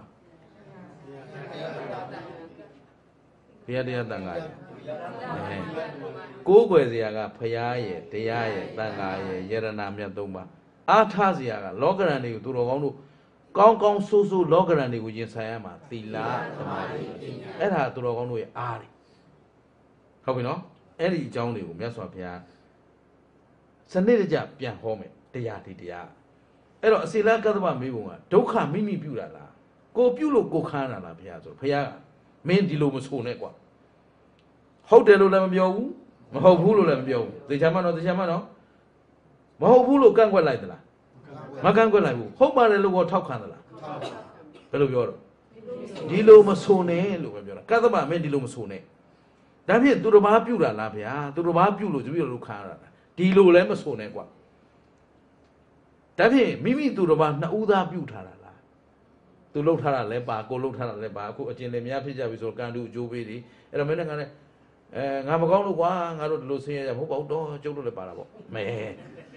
ဟုတ်ကလား အကျဉ်းလည်းများတယ်ဆိုတော့ကန်တူအကျိုးပေးတယ်အစင်မပြေဘူးဆိုရင်မလေးတော့တော့ကျုပ်ကမကောင်းတာပေါ့ဗျဟမ်မိမိသူတစ်ပါးနှစ်ဦးသာပြုတာလားဆိုတော့ဖခင်ကဒီလိုမဆိုနဲ့မိခွန်းတိုင်းကိုဖြေလိုက်တာကဗါလေဒီလိုမဆိုနဲ့ဆိုတော့ကတ္တပစိတ်မရှိတော့ဘူးဒါဖြင့်အရှင်ဘုရားဒုက္ခမရှိဘူးလားဘုရားတဲ့မရှိဘူးလားရှိပါတယ် အားလုံးမှာကိုယ်စီကိုယ်စီကာယကံကာယကံဒုက္ခဝစီကံဒုက္ခကာယကာယဒုက္ခဝစီဒုက္ခကာယမနောဒုက္ခတွေမရှိဘူးလားရှိပါတယ်ရှိနေတာသိကြတယ်နော်သိကြပါအဲ့တော့ဒုက္ခမရှိဘူးလားဆိုတော့ဘုရားပြက်ပြက်သားသားပဲဖြေတယ်ဒုက္ခရှိတာပေါ့ကတ္တဗာယဟုတ်ကဲ့လားဒုက္ခရှိတယ်ဒါဖြင့်အရှင်ဘုရားဒုက္ခကိုမသိဘူးလားမေးဆိုတော့မြတ်စွာဘုရားရှင်ကိုရောမြတ်ကြီးနဲ့တကွာအရိယာပုဂ္ဂိုလ်တွေနိဗ္ဗာန်ရောက်သွားတဲ့ပုဂ္ဂိုလ်မှန်သမျှသည်ဒုက္ခမသိပဲ ဘုရားဖြစ်ရုံထုံးစံရှိပါနိဗ္ဗာန်ရောက်ရုံထုံးစံရှိပါရှင်းတတ်လားဒုက္ခဆိုတာချမ်းသာသလားဆင်းရဲလားဒုက္ခတစ္ဆာဆင်းရဲခြင်းအမှန်ကိုမသိပဲဘယ်သူမှဖျားဖြစ်ယူထုံးစံရှိပါမရှိတော့ဟိုကအငေါ်တုဝိမေးတာကိုပြုတ်တာလားဆိုတော့မဖြစ်ဒီလိုမပြောနဲ့တဲ့သူများပြုတ်တာလားဆိုတော့လေဒီလိုမဆိုနဲ့တဲ့ဟုတ်ပြီနော်ဒါဖြင့်နှစ်ယောက်ပေါင်းပြုတ်ခဲ့တာလားဆိုတော့လေ ဒီလိုလည်းမပြောပါနဲ့ကွာဆိုတော့အကုန်လုံးပယ်လိုက်တယ်ပယ်လိုက်တယ်ဆိုတော့ဒါဖြင့်ပြုသူမရှိဘူးလားခံသူမရှိဘူးလားဒုက္ခကိုပြုတာဘာတူလဲဒုက္ခကိုခံနေတာဘာတူလဲဒါသိအောင်သွားရတော့မယ်ဟုတ်ကဲ့လားဒါသိမှတို့ကအဖြေရှင်းလို့ရမှာဒုက္ခရောက်အောင်လုပ်တဲ့လူကိုရှင်းထုတ်ပလိုက်မှဒီဒုက္ခမလာတော့မှာဟုတ်အဲ့တော့ဒုက္ခခံနေတာဘာတူလဲဒုက္ခရောက်အောင်လုပ်တာဘာတူလဲဟုတ်ကဲ့လားဟိ ဒါသိဖို့လိုအပ်မလိုအပ်အဲ့ဒါမနှက်ပြန်ဆက်မယ်ဟုတ်ကဲ့လားဒီနေ့ဖို့တော့ဒီတိုင်းပဲပြန်ကြဒုက္ခမိမိပြုတာလားဒီလိုဆိုလို့လည်းမရပါဘူးဖေရခင်ဗျားတို့ဖြေတော့ဒီလိုဖြေရမှာဖေရကတော့ဒီလိုမဆိုနဲ့လို့ပြောတာပေါ့အဲ့တော့ခုခင်ဗျားတို့မေးပြီဒုက္ခမိမိပြုတာလားဒီလိုဆိုလို့လည်းမရပါဘူးဖေရအဖြေတော့မသိသေးဘူးနော်ဒီတိုင်းပဲပြောလိုက်ရမှာဟုတ်သူတစ်ပါးပြုတာလား ဒီလိုဆိုလို့လည်းမရပါဘူးဖေရဒါဖြင့်မိမိသူတစ်ပါးနှစ်ဦးသားပြုလိုက်တာလားဒီလိုပြောလို့လည်းမဖြစ်ပါဘူးဖေရဟုတ်ပလားဒါဖြင့်ဒုက္ခမရှိဘူးလားရှိပါတယ်ဒုက္ခမသိဘူးလားသိတယ်လို့ဘုရားကပြောတာခင်ဗျားတို့တော့မသိသေးဘူးအဲ့ဒီစကားဘာလို့ပြောလဲဆိုတော့ခုနှစ်ရက်တရားဆုံးတဲ့နေ့ကျသိတယ်ခင်ဗျားတို့သဘောပါလားတကယ်ခင်ဗျားတို့ဒုက္ခသစ္စာကိုအဟုတ်သိထားတဲ့လူတို့ဆိုဒီမျက်နှာနဲ့ဒီပေါင်ထဲမှာမနေတော့ဘူးသွားပြီ ကျင်းလားဒီလိုလှုပ်ချင်တယ်ဗျာသိတော့သိတယ်အမဲမသိလို့မလှုပ်တာရှင်းလားအဲ့ဒီဖြေမနေ့ဖြန်ကြမှာဆက်မယ်ဟုတ်ပြီနော်လက်ရှိခုခင်ဗျားတို့ဒုက္ခသစ္စာသိပါတယ်ဖြေတတ်ပါတယ်ခန္ဓာဘယ်နှပါးဟောတော့ပညာရှိတွေမှားတာရှိရင်တောင်းပါနဲ့လို့ပြောခန္ဓာဘယ်နှပါးမြဲသလားမမြဲပါဖြစ်ပြီးတော့ဖြစ်ပြီးပြတ်တာဘာသစ္စာဒုက္ခအပိုင်းအပိုင်းသိတဲ့ဉာဏ်က မေဃသစ္စာလာတော့လောဘဒေါသမောဟတဏမာနဒိဋ္ဌိတွေလာအောင်မလားအဲသိတာကနောင်ခန္ဓာမလာတာကသစ္စာဘယ်နှချက်ကအေးကဲလို့သစ္စာလေးချက်ကိုပိုင်ညာနဲ့ကိုတိုင်တပြိုင်နဲ့ကြိုက်မှသာလျင်တန်တရားဝတ်တွင်းကလွတ်ကင်းနိုင်မှာဖြစ်တဲ့အတွက်မမေ့မလျော့မပေါ့စားသောတတိမလျှော့သောဇွဲလုံးလာဝရိယဖြင့်မြတ်စွာဘုရား၏အဆုံးအမသာသနာကိုနှလုံးသားမှာတည်အောင် ကြိုးစားအထုတ်ခြင်းဖြင့်မိမိဒုက္ခကိုမိမိသိမ့်နိုင်ကြပါစေလို့ဆန္ဒပြုရင်းနဲ့ဒီညဒီညနဲ့ပဲတော်ကြလို့သာ